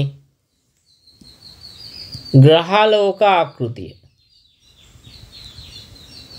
ග්‍රහලෝක ආකෘතිය. එහෙම නැත්නම් ග්‍රහාකෘතිය කියලා කියනවා. හරි? ග්‍රහාකෘතිය කියලා කියනවා. ඒතකොට මම මේ ග්‍රහාකෘතිය කියලා වෙනම මාතෘකා ලියලා එහෙම ආවේ නෑ. මොකද කතාවක් විදිහට පුළුවන් තරම් හොඳින් ඔයාලට මේක ගලපලා දෙන්න ඕන නිසා. හරි. අපි දැන් ඊළඟට යන් මෙතන තියෙන පැටලිලි සාගත ස්වභාවයට. ඉස්තර සමහර තැන්වල තිබුණා මේකේ ඉලෙක්ට්‍රෝන ඍණාරෝපිතයි නෂ්ටිය ධනාරෝපිතයි කොහොමද මේ ඉලෙක්ට්‍රෝන නෂ්ටියට වැටෙන්නේ නැතුව තියෙන්නේ ඒ වගේ ප්‍රශ්නයක් තිබුණා. ඒ වගේ ප්‍රශ්නවලට උත්තරත් රදර්ෆඩ් දුන්නා ඊට පස්සේ ඒ රදර්ෆඩ්ගේ ග්‍රහාකෘතිය බිඳ වැටෙනකොට නීල්ස් බෝ වෙන මාකෘතියක් ඉදිරිපත් කළා කියලා තමයි කියන්නේ. හරි? දැන් පොතේදී බෝ ආකෘතියටම රදර්ෆඩ් බෝ ආකෘතිය කියලාත් කියනවා කියලා තියෙනවා.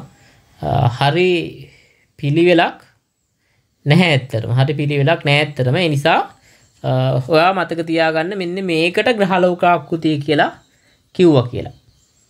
හරි මේක තමයි ග්‍රහ ලෝකාකෘතිය නැත්නම් ග්‍රහාකෘතිය කියන්නේ මේ වෙනකන් මේ ඉලෙක්ට්‍රෝන සහ මේ ධනාරෝපණ කොහොමද ආකර්ෂණය නොවී තියෙන්නේ කියලා පුකුත් පැහැදිලි කිරීමක් දන්නේ නැහැ. හරිද?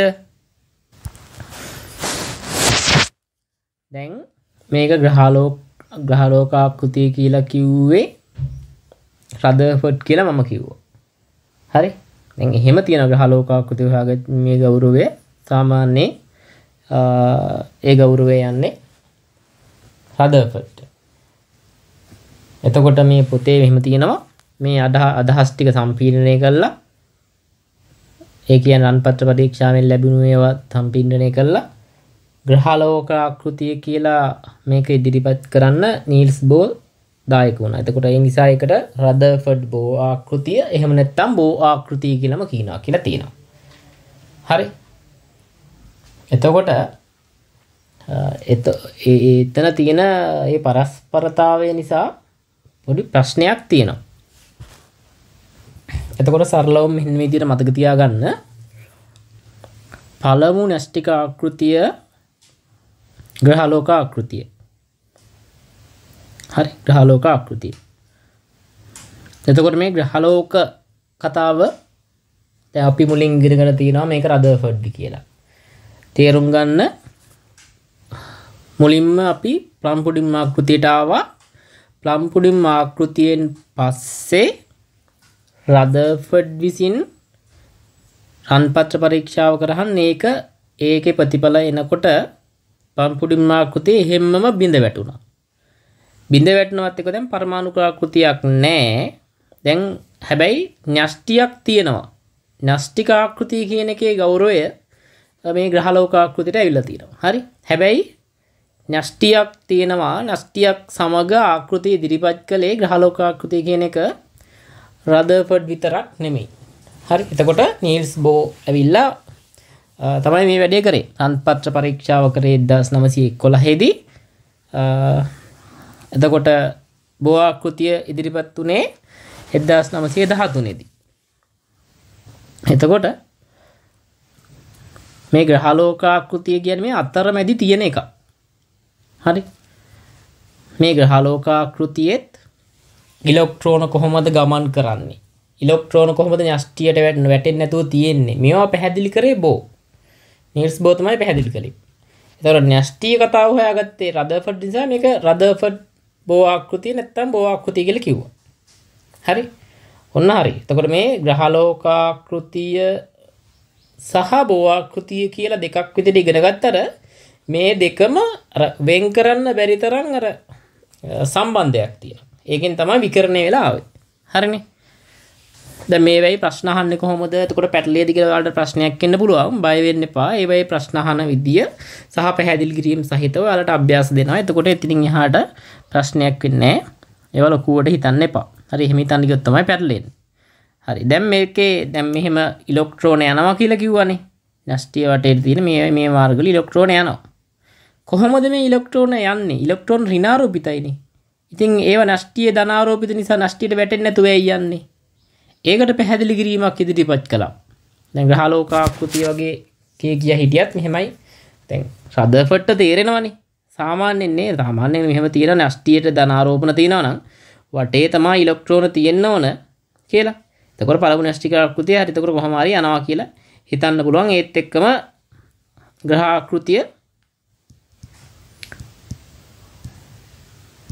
ගැන අදහසක් එන්න පුළුවන්. හරි. නමුත් සම්පූර්ණයෙන්ම ග්‍රහාකෘතිය සම්පූර්ණ කරේ කවුද? රදර්ෆර්ඩ්. මේ සොරි uh, නීල්ස් බෝ. ඒ නිසා තමයි මේකට රදර්ෆර්ඩ් බෝ ආකෘතිය කියලා කියන්නේ. එතෙන්දී මෙහෙම න්‍යෂ්ටිය තියෙනවා නම් න්‍යෂ්ටිය වටේට මෙහෙම වෘත්තාකාර මාර්ගයක වෘත්තාකාර මාර්ගයක න්‍යෂ්ටිය අපි මැදට ගමු. මැද නෙමෙයිනේ තියෙන්නේ. මෙන්න මේ වගේ. හරි. වෘත්තාකාර මාර්ගයක ඉලෙක්ට්‍රෝන ගමන් කරනකොට මෙන්න මේ විදිහට ඉලෙක්ට්‍රෝනයක් යනවා. ඉලෙක්ට්‍රෝන ගමන් කරනකොට මේ ඉලෙක්ට්‍රෝනය ඍණාරෝපිතයි මේක ධනාරෝපිතයි. එතකොට මේක ආකර්ෂණය නොවෙන්නේ න්‍යෂ්ටි මත මේක වැටෙන්නේ නැත්තේ ඇයි කියලා පැහැදිලි කරන්න ගියාම ඔයාලට මතක ඇති මෙන්න මේ සංසිද්ධිය හරි අපි එහෙම හිටගෙන නූල් කෑල්ලක් මොකක් හරි ගල් කැටයක වගේ ගැට ගහලා මේක අපිට හොම කරකවන්න පුළුව හරි? කරකවනකට මොක දෙන්නේ මේ නූල මෙහෙම අපි නූල වෙන පාටකින් අද නූල මේ විදියට ඇදීලා තියෙන උඩින් යනකොට උඩට ඇදෙන්නේ. පහලට එනකොට පහලින් ඇදෙනවා.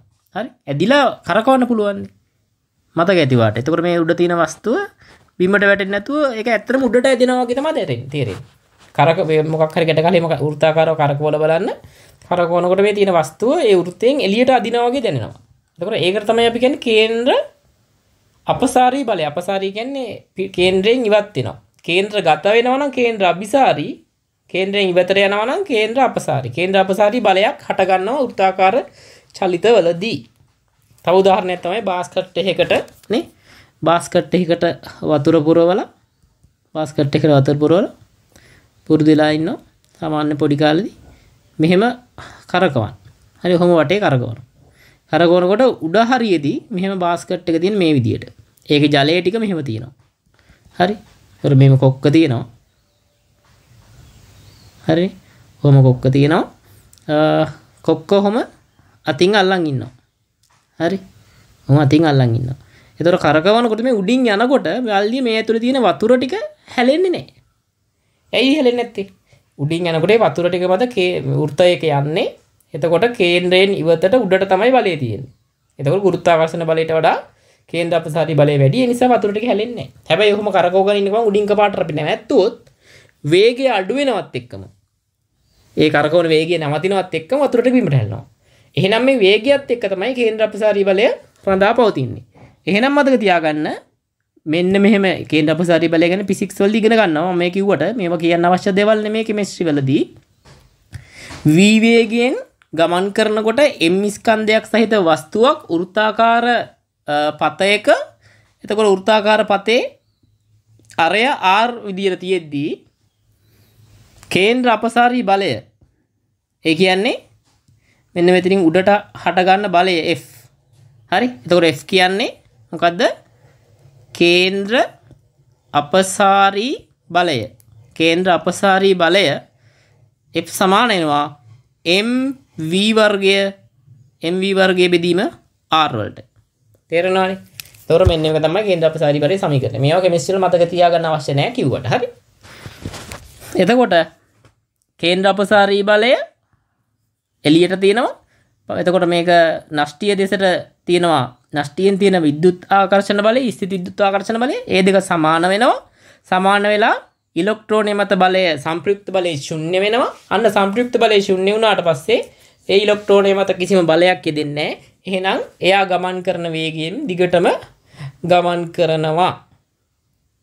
ඕක තමයි කතන්දරේ. හරි? ඕක තමයි කතන්දරේ. එහෙම තමයි පැහැදිලි කළේ. නිල්ස් බෝ තමයි පැහැදිලි කළේ. නිස් බෝ පැහැදිලි කරා. හරි. දැන් එතකොට පරමාණුවට ග්‍රහාකෘතිය සම්පූර්ණයි. හරි. ඒ දෙන්නත් එක්ක තුළ ඉදිරිපත් කළා. ඒකට අපි කියනවා රදෆට් බෝ ආකෘතිය කියලා. රදෆට් බෝ ආකෘතිය කියලා. එකොට මේ ග්‍රහාකෘතියක් ගැන ඇත්තරම මේ රිසෝස් බුක්කේ කතාවෙන්න නිසා ඒ ගැන ලොකුවට හිතන්න එපා. මේ කරුණු ටික එන්නම් ඇති. හරි. මොකද කෙමස්ට්‍රි ගැන ලොකු සිලබසයක් මේ වගේ මේ තියෙන චූටි දේවල් අහන්නේ. හරි? අහන්න පුළුවන් ටික මම ඔයාලට වෙන මේ වයින් ප්‍රශ්න වලින් දෙනවා. හරි. එහෙනම් බෝ ආකෘතියත් හරි. රදපඩ් බෝ ආකෘතිය එහෙම නැත්නම් බෝ ආකෘතිය කියලා කියනවා. හැබැයි බෝ ආකෘතිය තව ඉස්සරහට එන්න එන්න මේක විකරණය වුණා වෙනස් වුණා. හේතුව මැක්ස් ප්ලාන්ක් කියන විද්‍යාඥයා මෙන්න මෙහෙම වැඩක් කරා. මැක්ස් ප්ලාන්ක් වාදේ Max Planck theory Max Planck theory එක ඉදිරිපත් කළා. මැක්ස්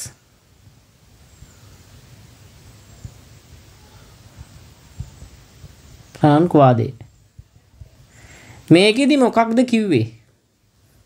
මේකෙදි කිව්වේ ආරෝපිත අංශුවක්. හරි? ආරෝපිත අංශුවක්. ආරෝපිත අංශුවක්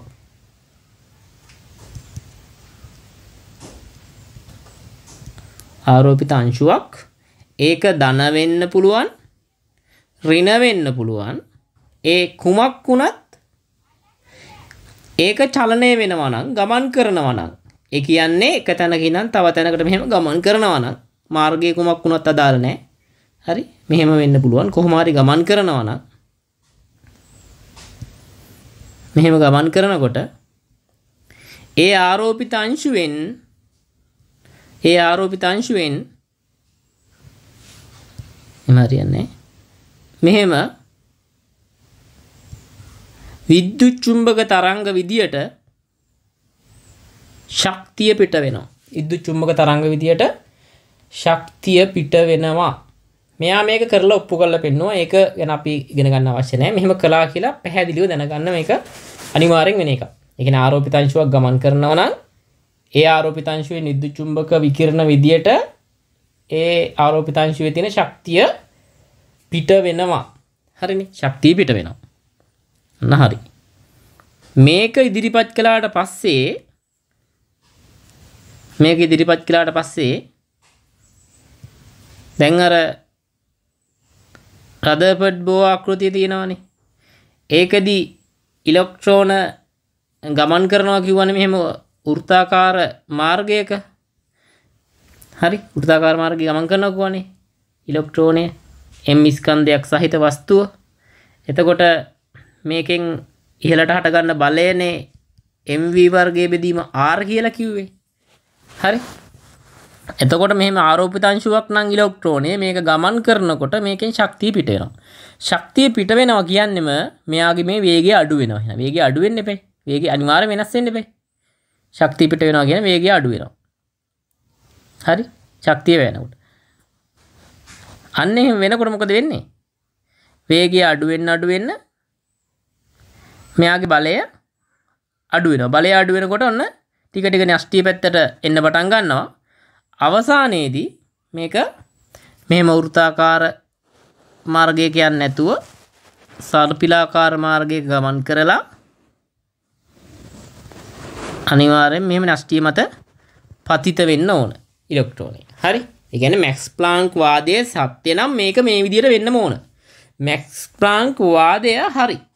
මේක සත්‍යයි කියලා ඔප්පු කරලා තියෙනවා. හරි? ඒක හරි. ඒතකොට ඒක හරි නම් මේ නීල්ස් බෝ විසින් කරපු උපකල්පනය වැරදි. එතකොට මේ සංකල්ප ඉවත් වෙලා ගියා.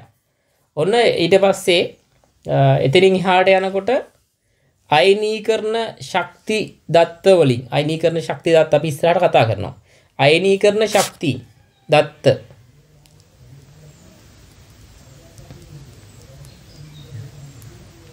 අයනීකරන ශක්ති දත්ත ඊට පස්සේ වර්ණාවලි. වර්ණාවලි ශක්ති දත්ත. මේ වගේවා ආවම මේ වගේ හැසිරීම පැහැදිලි කරන්න බැහැ. මේ මුලින් කතා කරපු බෝ ආකෘතියෙන් බෑ එතකොට මේවත් පැහැදිලි කරන්න පුළුවන් විදියට නවාකෘතියක් ගොඩ නැගුව. නවාකෘතියක් ගොඩ නැගවා. ඒකට කියනවා ඇතරම් නම බෝවාකෘති කල කියෙන එහමත් මෙතන හඳුන්නන දිල නෑ. ඒක තමයි දැම් බෝවාකෘතිය විදිර පිළිගන්නේ. හැබැයි ඒ ආකෘතියදී මෙන්න මේ ප්‍රශ්නයට මෙන්න වෙදනාපු ප්‍රශ්නයට ඉලොක්ට්‍රෝනය කොහොමද එහෙමනම් මේ නශ්චීවට යන්නේ? ද මෙහෙම මේක විදිර තියෙනවනම් ශක්ති නිකුත් කරනවා නිකුත් කරනවා නම් මෙහෙම යම් විදියක් නෑ. ඉති මේකට උත්තර බිඳ වැටුනත් මේකට උත්තරයක් දෙන්න බැරුණ එතකොට මේක උපකල්පනයක් මත යන්නේ. සරශානය මොකද? මෙහෙම වැටෙනවනම් අයිනීකරන ශක්ති දත්වලින් ඒවා ඒවා පැහැදිලි කරන්න බෑ. වර්ණාවලි වල දත්ත පැහැදිලි කරන්න බෑ. මේ දැත්ත පැහැදිලි කරන්න බෑ කියලා දැනගන්න ඒවා මොනවද කියලා ඉස්සරහට කියනවා. හරි? නමුත් මේවා පැහැදිලි කරන්න පුළුවන් වෙන්න මෙයා ආකෘතියක් ඉදිරිපත් කළා. අලුත් මේ ආකෘතිය ඇත්තටම තව ගොඩ නැගෝ වෙනස් කර කර. හැබැයි ඒත් මෙන්න මේක හැසිරීම මොකක්ද මේක මෙහෙම වෙන්නේ නැත්තේ ඇයි? මැක්ස් ප්ලාන්ක් වාදය හරනම් මෙහෙම වෙන්න ඕන. ඒත් එහෙම වෙන්නේ නැත්තම්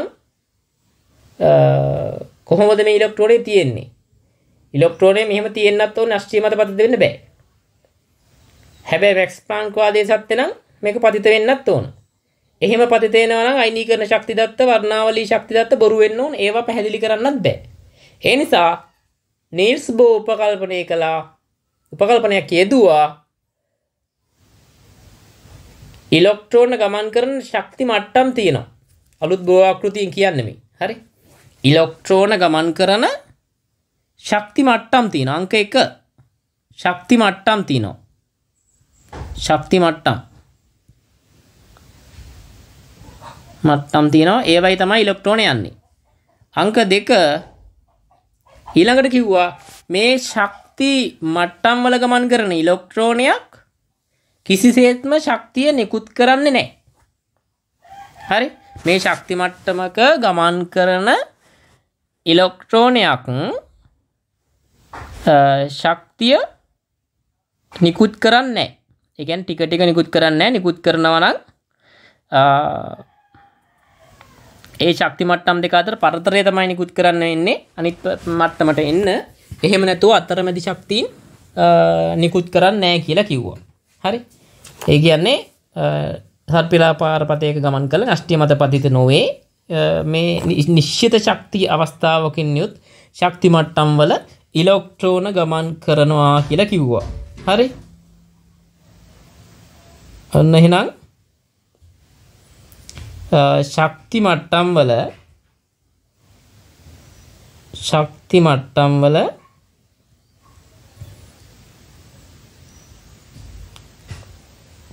ගමන් කරන ඉලෙක්ට්‍රෝන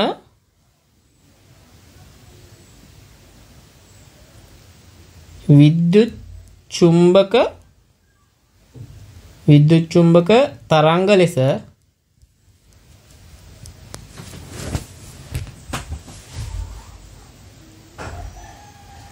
ඕනෑම සංඛ්‍යාතයකින් යුතු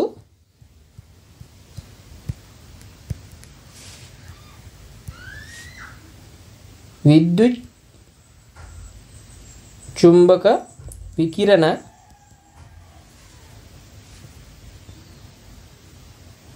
නිකුත් නොකරයි.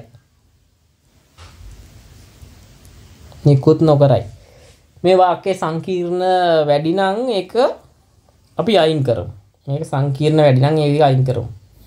හරි. ඒ අපිට තේරුම් ගන්න මට හිතෙනවා ඔයාලට මේක එකපාරට තේරෙන එකක් නෑ කියලා.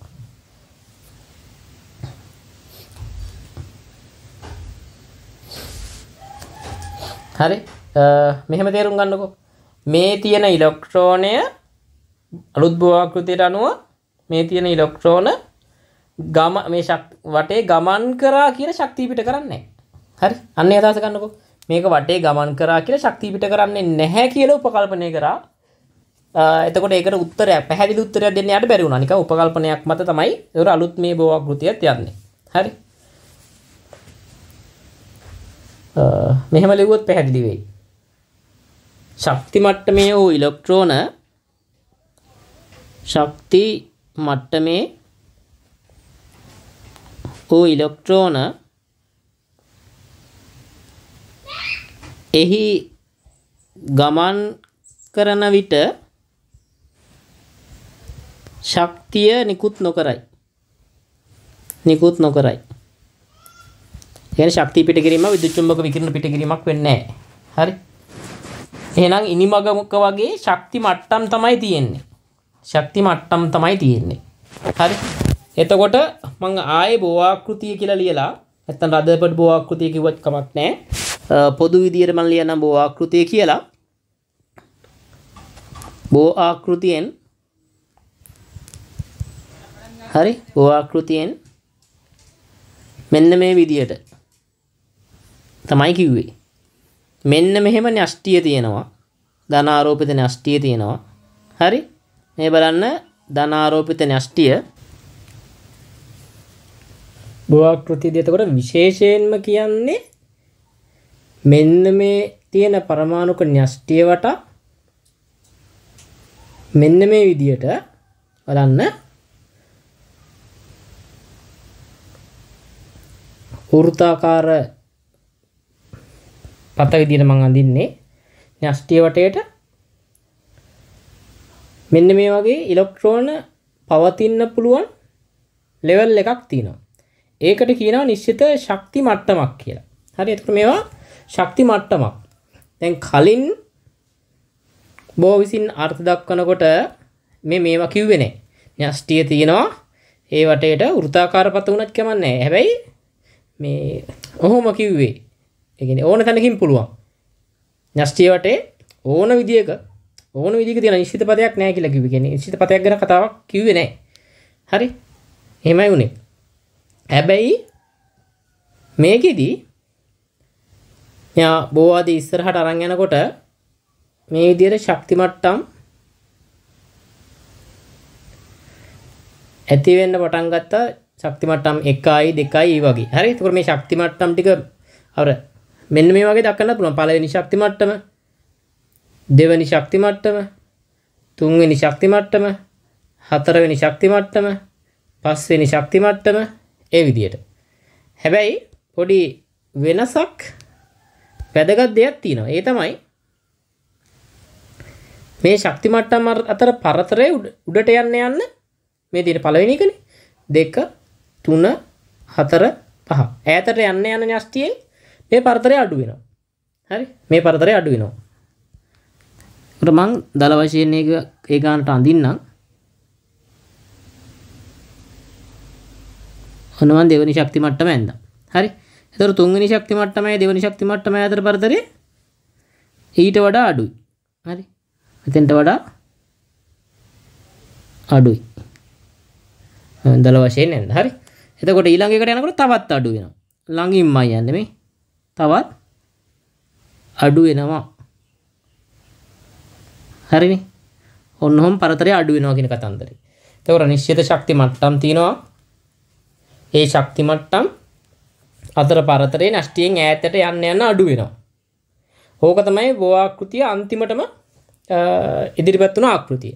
හැබැයි මේ ශක්ති මට්ටමක ඉලෙක්ට්‍රෝනයක් තියෙන්න පුළුවන්. හරි හැබැයි මේක කොහොමද තියෙන්නේ? දැන් ඉලෙක්ට්‍රෝනේ නැස්ටියෙන් අදිනවා. එතකොට නෂ්ටිය මතට වැටෙන්න ඕන. එහෙම වැටෙන්නේ නැතුව තියෙන්නේ කොහොමද? එහෙම තියෙන විදිය කලින් පැහැදිලි කරේ කේන්ද්‍ර අපසාරී බලයත් එක්ක. කේන්ද්‍ර අපසාරී බලය නිසා න්‍යෂ්ටික ආකර්ෂණ බලයට කේන්ද්‍ර අපසාරී බලය. කේන්ද්‍ර අපසාරී බලය මෙහෙට තියෙනවා. න්‍යෂ්ටික ආකර්ෂණ බලය මෙහෙට තියෙනවා. මේ දෙක සමාන වෙලා සම්ප්‍රයුක්ත බලය බිඳුවක් වෙනවා කියලා කිව්වා. එතකොට මේ මාර්ගය යනවා කියලා. මතකද මැක්ස් ප්ලාන් කිව්ව වාදයට අනුව ආරෝපිත අංශුවක් ගමන් කරනකොට විද්‍යුත් චුම්බක තරංග විදියට ශක්තිය පිට වෙනවා කියලා. බෝ මෙතෙන්දී උපකල්පනයක් කරා උපකල්පනයක් ඒක තමයි මේ ශක්ති මට්ටමක තියෙන ඉලෙක්ට්‍රෝනයක් ගමන් කළාට ඒකෙන් ශක්තිය නිකුත් නොකරන බවට උපකල්පනය කරා. එහෙම ශක්තිය නිකුත් කරන්නේ නැහැ. ශක්ති මට්ටමක තියෙන ආරෝපණයක් ඉලෙක්ට්‍රෝනයක් ගමන් කරා කියලා, ඒ ශක්ති මට්ටමේම ගමන් කරා කියලා ශක්තිය නිකුත් කරන්නේ නැහැ කියලා උපකල්පනය කරා. ඒක ඇයි කියලා පැහැදිලි කරන්න මොකුත් එයා ගියේ නැහැ. එයා එතනින් එහාට දෙයක් කරන්න බැරි වුණා. ඒ උපකල්පනය වල තමයි දැනටත් යන්නේ. හරි. ඒතර බෝවාක්කෘතිය ඔහොම තමයි. අපි මේ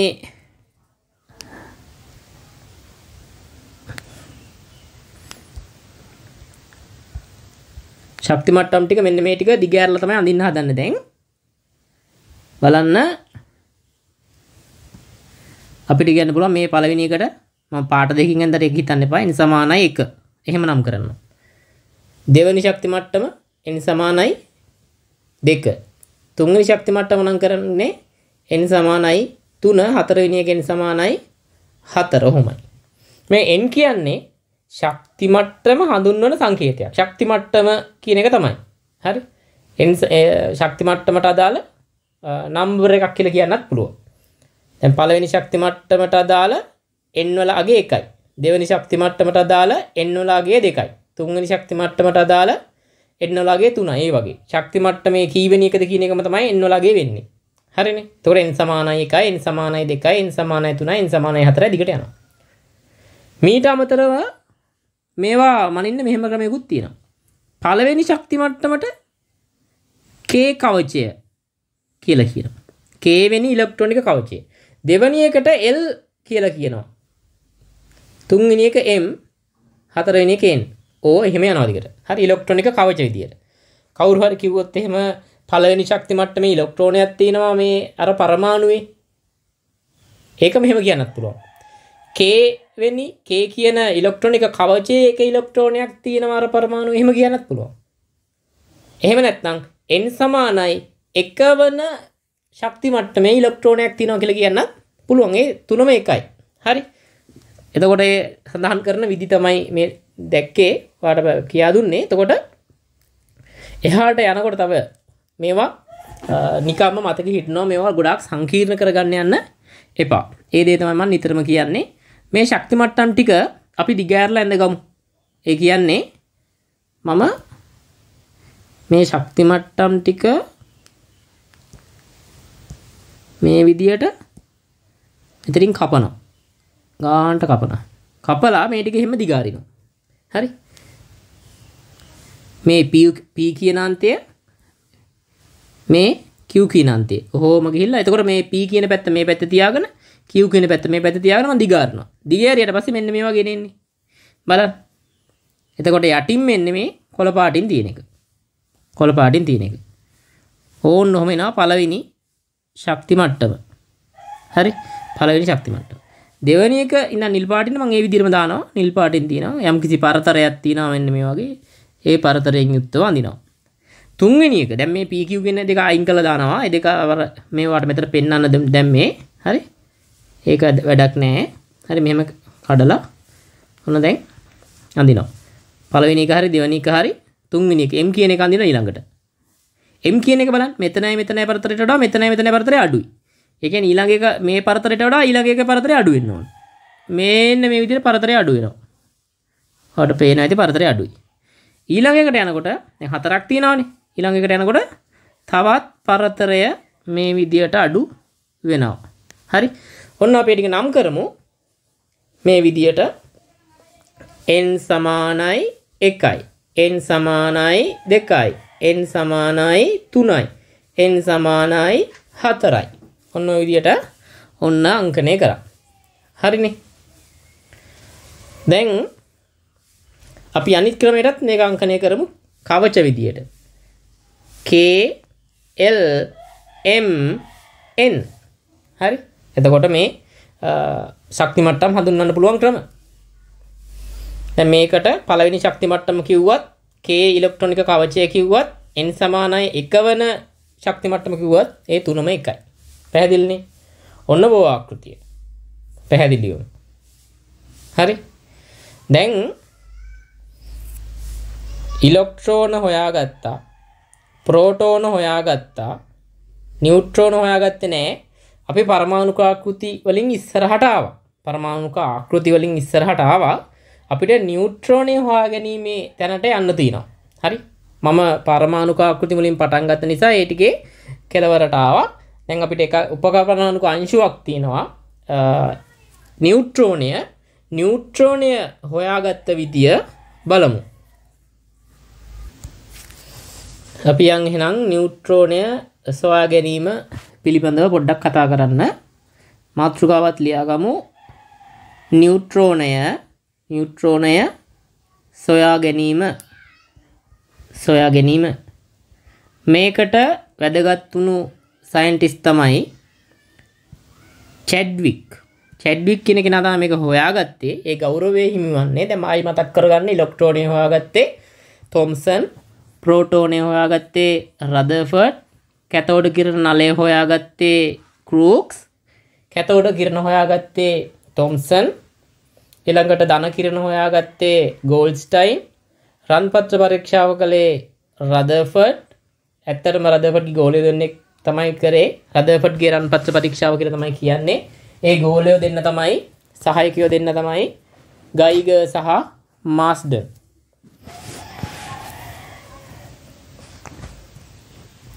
හරි. නිියුට්‍රෝනය සොයාගැනීමට හේතුනේ මෙන්න මේ වගේ කාරණාවක්. මේ වගේ ප්‍රශ්න පණ නැගුණා.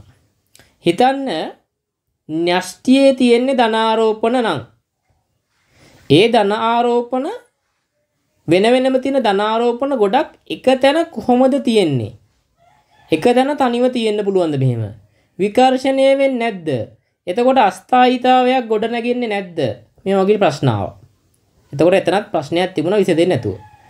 ඒ වගේම දැන් ඉලෙක්ට්‍රෝනයේ ස්කන්ධය ඉලෙක්ට්‍රෝනයේ ස්කන්ධය හොයාගත්තා. අපි ඒ ගණනය කිරීම කරන එක පොඩ්ඩක් මගහැරුණා. ඒකත් මම කරන්නම්. හරි ඉලෙක්ට්‍රෝනයේ ස්කන්ධය හොයන වැඩෙත් මම මේ මේක ඉවර වෙලා කරලා පෙන්නන්නම්. හරි. දැන් ඉලෙක්ට්‍රෝනයේ ස්කන්ධය හොයාගත්තා. ඉලෙක්ට්‍රෝනයේ ස්කන්ධය හොයාගත්තා. ප්‍රෝටෝනයේ ස්කන්ධය හොයාගත්තා. දැන් ප්‍රෝටෝන ගාන ඉලෙක්ට්‍රෝන ගානට සමානයි කියලාත් හොයාගත්තා. මොකද පදාර්ථය උදාසීනයි ඉලෙක්ට්‍රෝන ධනාරෝපිතයි ප්‍රෝටෝන ධනාර සොරි ඉලෙක්ට්‍රෝන ඍණාරෝපිතයි ප්‍රෝටෝන ධනාරෝපිතයි. එතකොට පදාර්ථය උදාසීන වෙන්න නම් පරමාණු උදාසීන වෙන්න ඕන පරමාණු උදාසීන වෙන්න නම් ඉලෙක්ට්‍රෝන සහ ප්‍රෝටෝන ගන්න සමාන වෙන්න ඕන. මොකද ඉලෙක්ට්‍රෝනයේ ප්‍රෝටෝනයේ ස්කන්ධ වෙනස් වුණාට ඉලෙක්ට්‍රෝනයේ සහ ප්‍රෝටෝනයේ ආරෝපණ සමානයි සංඛ්‍යාත්මකව අගයෙන් හැබැයි ලකුණින් වෙනස් ධන ඍණ. එතකොට ධන ඍණ කැපිලා යනවා. එහෙමනම් සමාන ඉලෙක්ට්‍රෝන සංඛ්‍යාවක් තියෙන්න ඕන ප්‍රෝටෝන ගානට අනුව. ඒ කියන්නේ මෙන්න මේ වගේ. හිතන්න ප්‍රෝටෝන 3ක් නම් ධන 3යි. එහෙනම් උදාසීන වෙන නම් රින තුනක් තියෙන්න ඕනේ කියන්නේ ඉලෙක්ට්‍රෝන. මේ ප්‍රෝටෝන මේ ඉලෙක්ට්‍රෝන. එහෙම තිබුණොත් තමයි උදාසීන වෙන්නේ. එතකොට තමයි පර පදාර්ථය උදාසීන වෙන්නේ. එතකොට ප්‍රෝටෝන ගාන වැඩි ඒවා තියෙන්න්නත් පුළුවන් ඉලෙක්ට්‍රෝන ගාන වැඩි ඒවා තියෙන්න්නත් පුළුවන් හැබැයි ඒවා පරමාණු නෙමේ ඒවට කියන්න අයන කියලා අපි ඒව පිළිබඳව ඉස්රහට බලනවා හරිනේ එතකොට ඉලොක්ට්‍රෝන ගාන ප්‍රෝටෝන ගාන යම්කිසි පරමාණුවක මූලද්‍රව්වයක ගණනය කරලා ඒ වගේ ස්කන්ධ එකතු අරගත්තම හරි? MP ප්‍රෝටෝනවල ස්කන්ධය. ME ඉලෙක්ට්‍රෝනයේ ස්කන්ධය. මෙතන තුනයි නිසා තුනයි. මෙතන තුනයි නිසා ඉලෙක්ට්‍රෝන තුන නිසා තුනයි. එතකොට මේ දෙකේ එකතුව ගත්තම් මේ පරමාණු මං කියන්නම්කෝ A කියලා පරමාණුවක් කියලා. මේ පරමාණුවේ ස්කන්ධය මෙන්න මේ එකතුවට වඩා. හරි? මෙන්න මේ දෙකේ එකතුවට වඩා ගැන ප්‍රෝටෝනෝල ස්කන්ධයයි ලොක්ට්‍රෝනවල ස්කන්ධයයි දෙක්කම එකතු කරහම පරමාණු ස්කන්ධයට වඩා අඩුයි. එතන ප්‍රශ්නයක් ආවා. එතන ප්‍රශ්නයක් ආවා. හරි. ඔන්න දැන් හිතන්න. දැන් මේ වගේ තැන් පොඩ්ඩක් වාට නිකන් අර අමුතුවට පැටලෙන්නේ නැති ලොකුවට නෙමෙයි. ඒ වගේ තැන් හොඳට හිතන්න. ප්‍රශ්නේ නේ වහන්න අහලා ඒව නිරාකරණය කරගන්න. පොඩි ප්‍රශ්නාව ඒක පොඩි දෙයක් කියලා අතහැරලා දාන්න එපා කොයිම වෙලාවක හරි? තවත් පැටලෙන තැනක් මම කියන්නම් මෙහෙම. දැන් මේ වගේ දේවල් තිවෙද්දිම ඒවා මගෑරලා තමයි මේ ඔය රදපටලා කට්ටි ඉස්සරහට ගියේ. මොකද ඒ අඩුපාඩු මගෑරලා අර හොයා ගැනීමක් පෙන්වන්න විතරයි යාලා යන්නේ. හරි? තමන්ගෙම දේ අඩුපාඩු ප්‍රසිද්ධ කරන්නේ. හිතන්නකෝ අර ප්‍රෝටෝනය හොයාගත්ත වෙලාව. ප්‍රෝටෝනය හොයාගත්ත වෙලාවේ H+ එකනේ සැහැල්ලුම ධන කිරණංශු කිව්වේ. ඇත්තටම H+ වල තියෙන එක ප්‍රෝටෝනයක් විතරයි නියුට්‍රෝන නැහැ එතකොට හීලියම්ට එනකොට හීලියම් 2+ අයනයට ආවට පස්සේ මෙතන ධන දෙක ආරෝපණයක් කියන්නේ දෙකයි ප්‍රෝටෝන තියෙනවා. ඉලෙක්ට්‍රෝනත් නැහැ හැබැයි බලන්න මෙතන ආරෝපණය වගේ දෙගුණයක් නේ. ආරෝපණය ගත්තහම මේක වගේ මේක දෙගුණයක් වෙනවා මේ දෙකෙන් වැඩි වෙලා තියෙනවා මේ දෙකෙන් වැඩි වෙලා. මෙතන එහෙම දෙකෙන් තමයි වැඩි වෙන්න ඕන. හැබැයි ඇත්තටම ගත්තම් මෙතන වගේ හතර ගුණයක්. එකයි නම් මෙතන හතරයි. මෙතන x නම් මෙතන හතරයි x. හරි? මෙතන හතරයි x. හතරයි x. ඇත්තරම ආරෝපණය දිගුණ වෙලා හයිඩ්‍රජෙන්ට වඩා හීලියම්ගේ ස්කන්දය හතර ගුණයක් කුණේ කොහොමද කියලා ප්‍රශ්න තියෙන්නේ නැති. උනාට ඒව මග ඇරලා ගිහිල්ලා ඒව පස්සේ තමයි අහුනේ. හරි? දැන් ඔයාලටත් ඒක එකපාරට හිතුන්නේ නැහනේ. දැනගෙන ඉඳලත් නියුට්‍රෝන ගැන. එහෙම හිතුණා නම් හොඳයි. හරි. එහෙමනම් මේ මේ මෙන්න මේ ගැටලුව මේ ගැටලුව ඒ සේරටම විශේෂයෙන්ම මෙන්න මේක. මේ කාරණාව. හරි? මේ කාරණාව නිසා මේ තව මොනවා හරි උදාසීන අංශු වර්ගයක් මේක තුල තියෙනවා කියන මතය ආවා. ඊට පස්සේ ඒකට පරීක්ෂණ කර කර ගියා. මේක අහුනේ චැඩ්වික්ට චැඩ්වික්ට තමයි අහුනේ. බෙරලියම් පත්‍ර තුලින් ඇල්පා අංශු විවර්ෂණය කිරීම. අන්නයකින් තමයි මේ කියන නිියුට්‍රෝනය හොයාගත්තේ. හරි? නිියුට්‍රෝනය හොයාගත්තේ හෙමයි හරිනි? එහෙනම් අපි නිියුට්‍රෝනය හොයාගන්න යන් මේ කොටස වැඩක් නැහැ මේ කොටස මම අයින් කළා දානවා බෙර්ලියම් පත්‍ර තුලින් ඇල්පා අංශු විවර්ෂණය ඔව් ඇල්පා අංශු කියන්නේ අපි කලින් හොයාගත්ත විකිරණශීලීතාවයෙන් පිටවන ඇල්පා අංශුම තමයි. හරි බලන්න එතකොට විකිරණශීලීතාවය හොයා ගැනීම මේ රසායන විද්‍යාවේ කොච්චර වැදගත් දෙයක්ද කියලා. හරි. ඔන්න අපි මාතෘකාවත් ලියාගමු. බෙරිලියම් පත්‍ර තුලින් ඇල්ෆා අංශු විවර්ෂණය ඇල්පාංශු විවර්ෂණය. ඇල්පාංශු විවර්ෂණය. හරි. එතකොට මේ බෙරිලියම් පත්‍ර තුළින් ඇල්පාංශු විවර්ෂණය කොහොමද කරේ? කලින් වගේම ඇල්පා අංශුවල ප්‍රභවයක් තියෙන්න ඕන. ඇල්පාංශු ප්‍රභවයක් මේ විදිහට තියෙන්න ඕන. මෙහෙම බලන්න. හොම ඕන්න හොම තියෙනවා. හරි එතකොට මේ කුටීරය තියෙන මේ විදිහට බලන්න. ඊයම් කුටීරයක්. හරි. අපි නම් කරගම් පස්සේ ඊට පස්සේ මේක ඇතුලේ මේ විදියට අපි දාමු මේකෙන්. මෙන්න මේ විදියට විකිරණශීලී ප්‍රභවයක් තියෙනවා මේක ඇතුලේ. හරි. මේ විදියට විකිරණශීලී ප්‍රභවයක් තියෙනවා. හරිනේ. දැන් මේ විකිරණශීලී ප්‍රභවයෙන් විකිරණ නිකුත් වෙනවා. විකිරණ නිකුත් වෙනවා. දැන් ඉස්සෙල්ලම් මතක තියාගන්න මෙන්න මෙතන තියෙනවා ඉටි තහඩුවක්. හරි? ඉටි පැරෆින් ඉටි ඉටි ඉටි තියෙනවා. මෙන්න මේ විදියට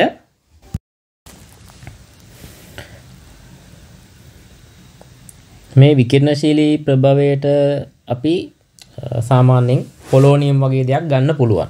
මේ පැට්ටිකල් අපිට කරන්න නෑ. පොලෝනියම් වගේ විකිරණශීලී මූලද්‍රව්‍යයක් ගත්තම විකිරණ පිට වෙනවා. එතකොට මෙතන අපි ඉස්සෙල්ලම කරන්නේ මෙන්න බෙරිලියම් පත්‍රයක් මෙතන තියෙනවා මෙහෙම බෙරිලියම් පත්‍රයක් හරි බෙරිලියම් ඊළඟට මේ ඉස්ට ඉස්සරහින් අපි තියාගන්නවා නැවත මේ විදියට ඉටි.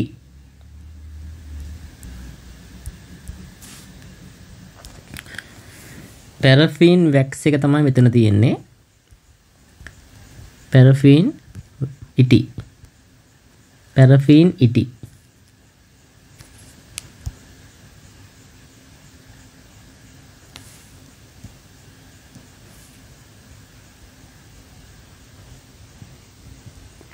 පැරෆීන් ඉටි. Paraffin wax.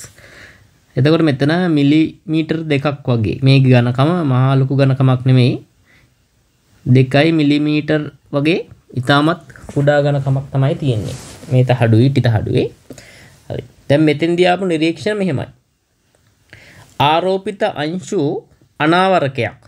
ආරෝපිත අංශුවක් හඳුනා ගන්න පුළුවන් උපකරණයක් තියෙනවා. ඒකට අපි කියනවා ආරෝපිත අංශු අනාවරකය. ආරෝපිත අංශු අනාවරකය. මේ වගේ. ඔහොම තියෙනවා.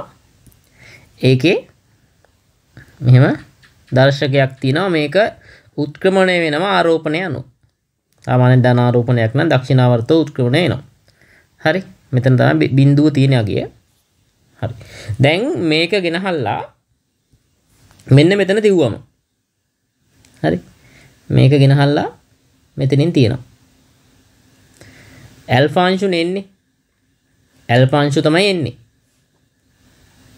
ඒකට මම හරි. ඇල්පංශු මෙහෙම ඇවිල්ලා වදිනවනේ. ඇල්පංශු වෙනවා. එහෙමනම් මෙයාගේ මේ දර්ශකය උත්ක්‍රමණය වෙනවා මෙහෙම. මෙතන බිඳුව තියෙන්නේ. එතකොට මෙහෙම උත්ක්‍රමණය වෙලා පෙන්නනවා ආරෝපිත අංශුවක් යනවා කියලා. ඊළඟට මේකම හරි වෙනත් ආරෝපිත අංශු අනාවරකයක් හරි ගෙනහල්ලා බෙරිලියම් තහඩුව සහ හරි බෙරිලියම් තහඩුව සහ ඉටි තහඩුව අතර මේක බෙරිලියම්. බෙරිලියම් තහඩුව. බෙරිලියම් ප්ලේට් එකක්. හරි. මෙහෙම තිව්වම මේකේ කිසිදු උත්ක්‍රමණයක් නැහැ. උත්ක්‍රමණයක් නැහැ හරි. ඉතින් බිඳුව වගේම තමයි තියෙන්නේ. ආයි මේක හරි වෙන එකක් හරි ගෙනහල්ලා ඉටි තහඩුවට ඉදිරියෙන් තියෙනවා. මෙම ඉටි තහඩුවට ඉදිරියෙන් තිව්වහම අන්න නැවත මෙතන උත්ක්‍රමණයක් මෙතන බිඳුව නම් තියෙන්නේ. එහෙම උත්ක්‍රමණයක් පෙන්වනවා යම් කිසි හරි? යම් කිසි උත්ක්‍රමණයක් පෙන්වනවා ඒ කියන්නේ මේකේ තේරුම මොකක්ද? මෙතන උත්ක්‍රමණය වෙන්න හේතුව මෙතන උත්ක්‍රමණය වෙන්න හේතුව ඇල්ෆා අංශු තිබීම මෙතන උත්ක්‍රමණය නොවෙන්න හේතුව ආරෝපිත අංශුවක් නැහැ. ඒ කියන්නේ අංශුවක් නැහැ කියලා දැනට හිතමු. මෙතන උත්ක්‍රමණය වෙන්න හේතුව ආරෝපිත අංශුවක් තියෙනවා. එහෙනම් මෙතන ආරෝපිත අංශුවක් තියෙනවා. ඒ ආරෝපිත අංශුව මොකක් වෙන්න පුළුවන්ද?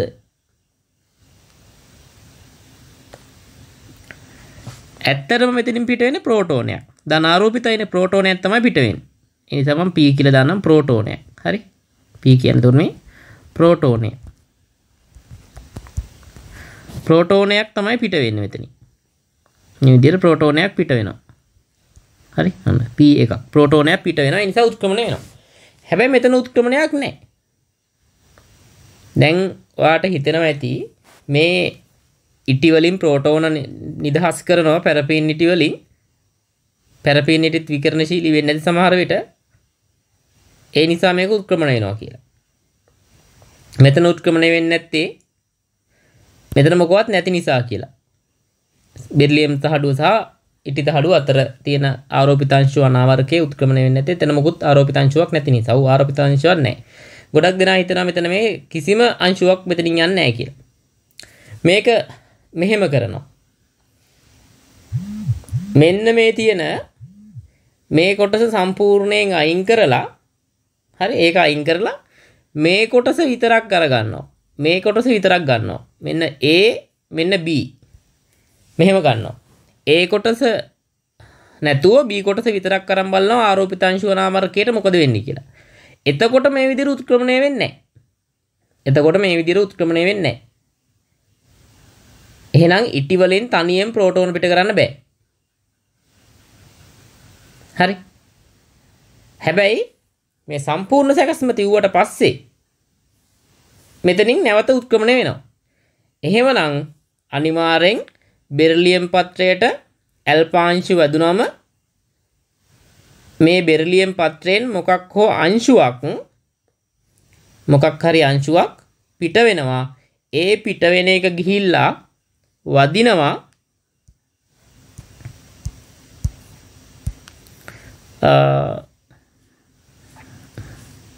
අපි දාමු. පාට වෙනස් කරලා කහ පාටින් ඔව කළු පාටින් දාමුක. මෙහෙම අංශුවක් ගිහිල්ලා මෙතන වදිනවා. ඒක ආරෝපණයක් නෑ. ආරෝපණයක් තියෙනවා නම් ආරෝපිත අංශුව අනාවරකයේ උත්ක්‍රමණය වෙනවනේ. ආරෝපණයක් නැති අංශුවක් යනවා. ගිහිල්ලා ඒක වැදුනම් මේ පැරපීන් ඉටි තහඩුවෙන් ප්‍රෝටෝන නිකුත් කරනවා. ඒක තමයි වෙන්නේ. හරි? දැන් පැරපීන් ඉටි තහඩුවක් විතරක් අරන් බැලුවම මෙයාගෙන් නිකුත් වෙන්නේ නැහනේ. සෝරි මේ මෙයා උත්ක්‍රමණය වෙන්නේ නැහනේ. ඒ කියන්නේ මෙයාට තනියෙන් ප්‍රෝටෝන නිකුත් කරන්න බෑ. එහෙනම් මේ සම්පූර්ණ සැකස්ම තිනකොට ප්‍රෝටෝන නිකුත් කරනවා කියන්නෙම මෙයාගෙන් මොකක් හරි අංශුවක් පිට වෙනවම තමයි. බෙරිලියම් තහඩුවෙන් අංශුවක් පිට වෙනවම තමයි මේ බෙරිලියම් තහඩුවට ඇල්පාංශු වැදීම නිසා. හරි. දැන් මෙතන මේ පැරෆීන් ඉටි වලින් ප්‍රෝටෝන නිකුත් වෙන්නේ ආරෝපිතාංශුවක් නිකුත් වෙන්නේ මේ ඇල්පාංශු නිසා කියලා කාට හරි කියන්න පුළුවන්. ඒක වැරදි. මොකද ඇල්පාංශු නිසා නම් මෙතන උත්ක්‍රමණය වෙන්නේ මේ මැද තියෙන එක. මැද තියෙන ආරෝපිතාංශු අනාවරකය P අංකනය කරොත් P Q R කියලා ගත්තොත් මේ Q කියන ආරෝපිතාංශුව අනාවරකය උත්ක්‍රමණය වෙන්න ඕනේ ඇල්ෆා අංශු වලින් වෙන එකක් නෑ. මේක වෙන්නේ එතකොට සරලව තේරුම් ගන්න ඇල්ෆා අංශුව ගිහිල්ලා බෙර්ලියම් පත්‍රය වදිනවා බෙර්ලියම් පත්‍රයෙන් ගිහිල්ලා යම්කිසි අංශුවක් පැරෆීන් ඉටිතහඩුවේ වදිනවා. එතකොට පැරෆීන් ඉටි වලින් ප්‍රෝටෝන නිකුත් කරනවා. එතකොට මේ බෙර්ලියම් තහඩුවෙන් පැරෆින් වලට යන අංශුව මොකක්ද? ඒ යන අංශුව තමයි නියුට්‍රෝන නියුට්‍රෝනය කියන්නේ ඒකට. නියුට්‍රෝන තමයි නිදහස් කරන්නේ. එන් නියුට්‍රෝන තමයි එතකොට යන්නේ. හොඳට ඒ ටික පැහැදිලිව තේරුම් ගන්න මතක තියාගන්න හරි. නියුට්‍රෝන බෙර්ලියම් තහඩුව පැරෆීන් ඉටි ප්‍රෝටෝන ඇල්ෆා එන ප්‍රෝටෝන. මේ නියුට්‍රෝන ඒ ටික මතක තියෙන්න ඕන. එතකොට මේ ඉතිරි කොටස් ගත්තොත් එතන තියෙනවා ඊයන් කුටීරේ ඊයම් කුටීරේ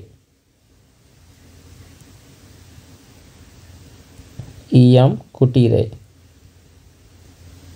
ඝන බිත්ති සහිත ඊයම් කුටීරය කියන නම් වඩාත් හොඳයි. මේ මැද තියෙන විකිරණශීලී ප්‍රභවය. විකිරණ ශීලී ප්‍රභවය විකිරණශීලී ප්‍රභවය උදාහරණයක් විදියට අපිට පොලෝනියම් වගේ දාන්න පුළුවන්. පොලෝනියම් පොලෝනියම් වගේ මූලද්‍රව්‍ය විකිරණශීලී වෙනවා. හරිනේ. අන්න එහෙනම් ඒතොර මේ පැට්‍රිකල් එක කරේ කවුද? James Chadwick. මේක කළේ ජේම්ස් චැඩ්වික්. ජේම්ස් චැඩ්වික් තමයි මේ වැඩේ කළේ. එහෙනම්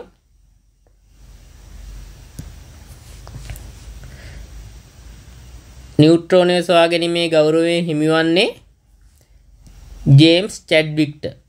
හරි? නිියුට්‍රෝනය සොයා ගැනීමේ ගෞරවය හිමිවෙන්නේ ජේම්ස් චැඩ්වික්ට. ඒක අමතක කරන්න එපා. හරි? James Chadwick. ඒ නම නිතර පොඩ්ඩක් කියලා මතක තියාගන්න. තේරුම් ගන්න මම මේ කතා කරන්නේ තියරි ළමයින්ට. රිවිෂන් අයට නෙමෙයි. රිවිෂන් අයට මෙච්චර මෙහෙම කියන්න දෙයක් නැහැ. යාට සාමාන්‍යයෙන් ගොඩක් දේවල් තේරෙනවා. හරි. රිවිෂන් එකේ මෙච්චර මෙහෙම පොඩි පොඩි දේවල් ගොඩක් වෙලා කතා කර කර ඉන්නේ නැහැ. හරි. දැන් නියුට්‍රෝනය හොයාගත්තා, ප්‍රෝටෝනය හොයාගත්තා, ඉලෙක්ට්‍රෝනයත් හොයාගත්තා. ඩෝල්ටන් කිව්වේ පරමාණුවක් තියෙනවා. ඒක තවදුරටත් බෙදෙන්නේ නැහැ කියලා. දැන් ඉස්සරහට එනකොට ඉදිරියේ හිටපු විද්‍යාඥයෝ පරමාණු තවදුරටත් බෙදෙනවා. උපපරමාණු කාංශ ගොඩක් තියෙනවා. ප්‍රධාන වශයෙන් ඉලෙක්ට්‍රෝන, ප්‍රෝටෝන, නියුට්‍රෝන තියෙනවා කියලා කතා කරා. හරි දැන් එතකොට මේ ලෙක්චර් එක මෙතනින් අපි නවත්තමු ඊළඟට ඊළඟ කොටසේදී මම නැවත මේ ඉලෙක්ට්‍රෝන ප්‍රෝටෝන නියුට්‍රෝන වල මම අර සුළු සුළු දත්ත කතා කරේ නෑ ඒකට හේතුව ඒවා කතා කරන්න ගියොත් ඒවා කතා කරන්න ගියොත් මේක නීරස වෙනවා මේක දත්ත වැඩි වුණාම එකපාරට මතක තියාගන්න අමාරු වෙනවා ඒ නිසා ඒ දත්ත දාලා වෙනම ඊළඟ ලෙක්චර් එකේදී අපි වගුවක් සම්පූර්ණ කරනවා. වගුවක් කම්ප්ලීට් කරන ඉලෙක්ට්‍රෝන, ප්‍රෝටෝන, නියුට්‍රෝන මේ ටිකේ සාපේක්ෂ ආරෝපණ සාපේක්ෂ ස්කන්ධ, ඇත්තම ස්කන්ධ මේ වගේ දේවල් ගොඩක් අපි සංසන්ධනය කරලා බලනවා හොයාගත්තේ කෙනා කවුද. එතකොට ඒ වගුව තනියෙන් පුරවන්න පුළුවන් මට්ටමින් ඉන්නවා නම් හොඳයි. රිසෝස් බුක් එක කියවලා උනත් ඒක තනියෙන් ෆිල් කරගන්න පුළුවන් මට්ටමේ ඉන්න. හරි තව පොඩි දෙයක් තියෙනවා පොඩි දෙයක් තියෙනවා ඒක මට කරලා පෙන්වන්න ඕන මොකද ඉලෙක්ට්‍රෝනය ගැන කතා කරද්දී කරන්න තිබිච්ච වැඩක් මේකයි වැඩේ. ඉලෙක්ට්‍රෝනයේ ආරෝපණය සොයාගත්තේ කවුද? ඉලෙක්ට්‍රෝනයේ ආරෝපණය.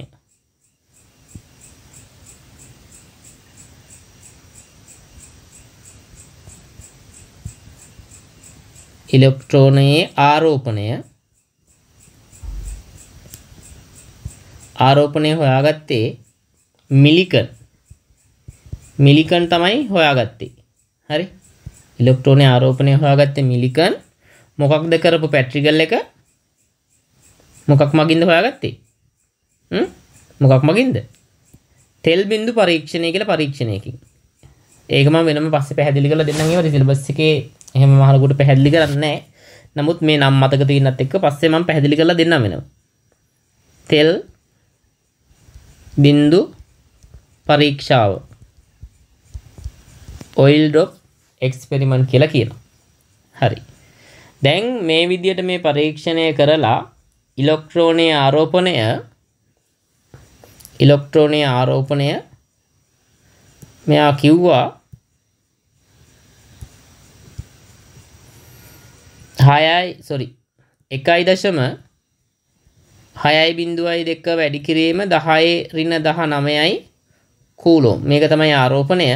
ආරෝපණය ලකුණ රින ආරෝපණය ලකුණ රින මතක තියාගන්න.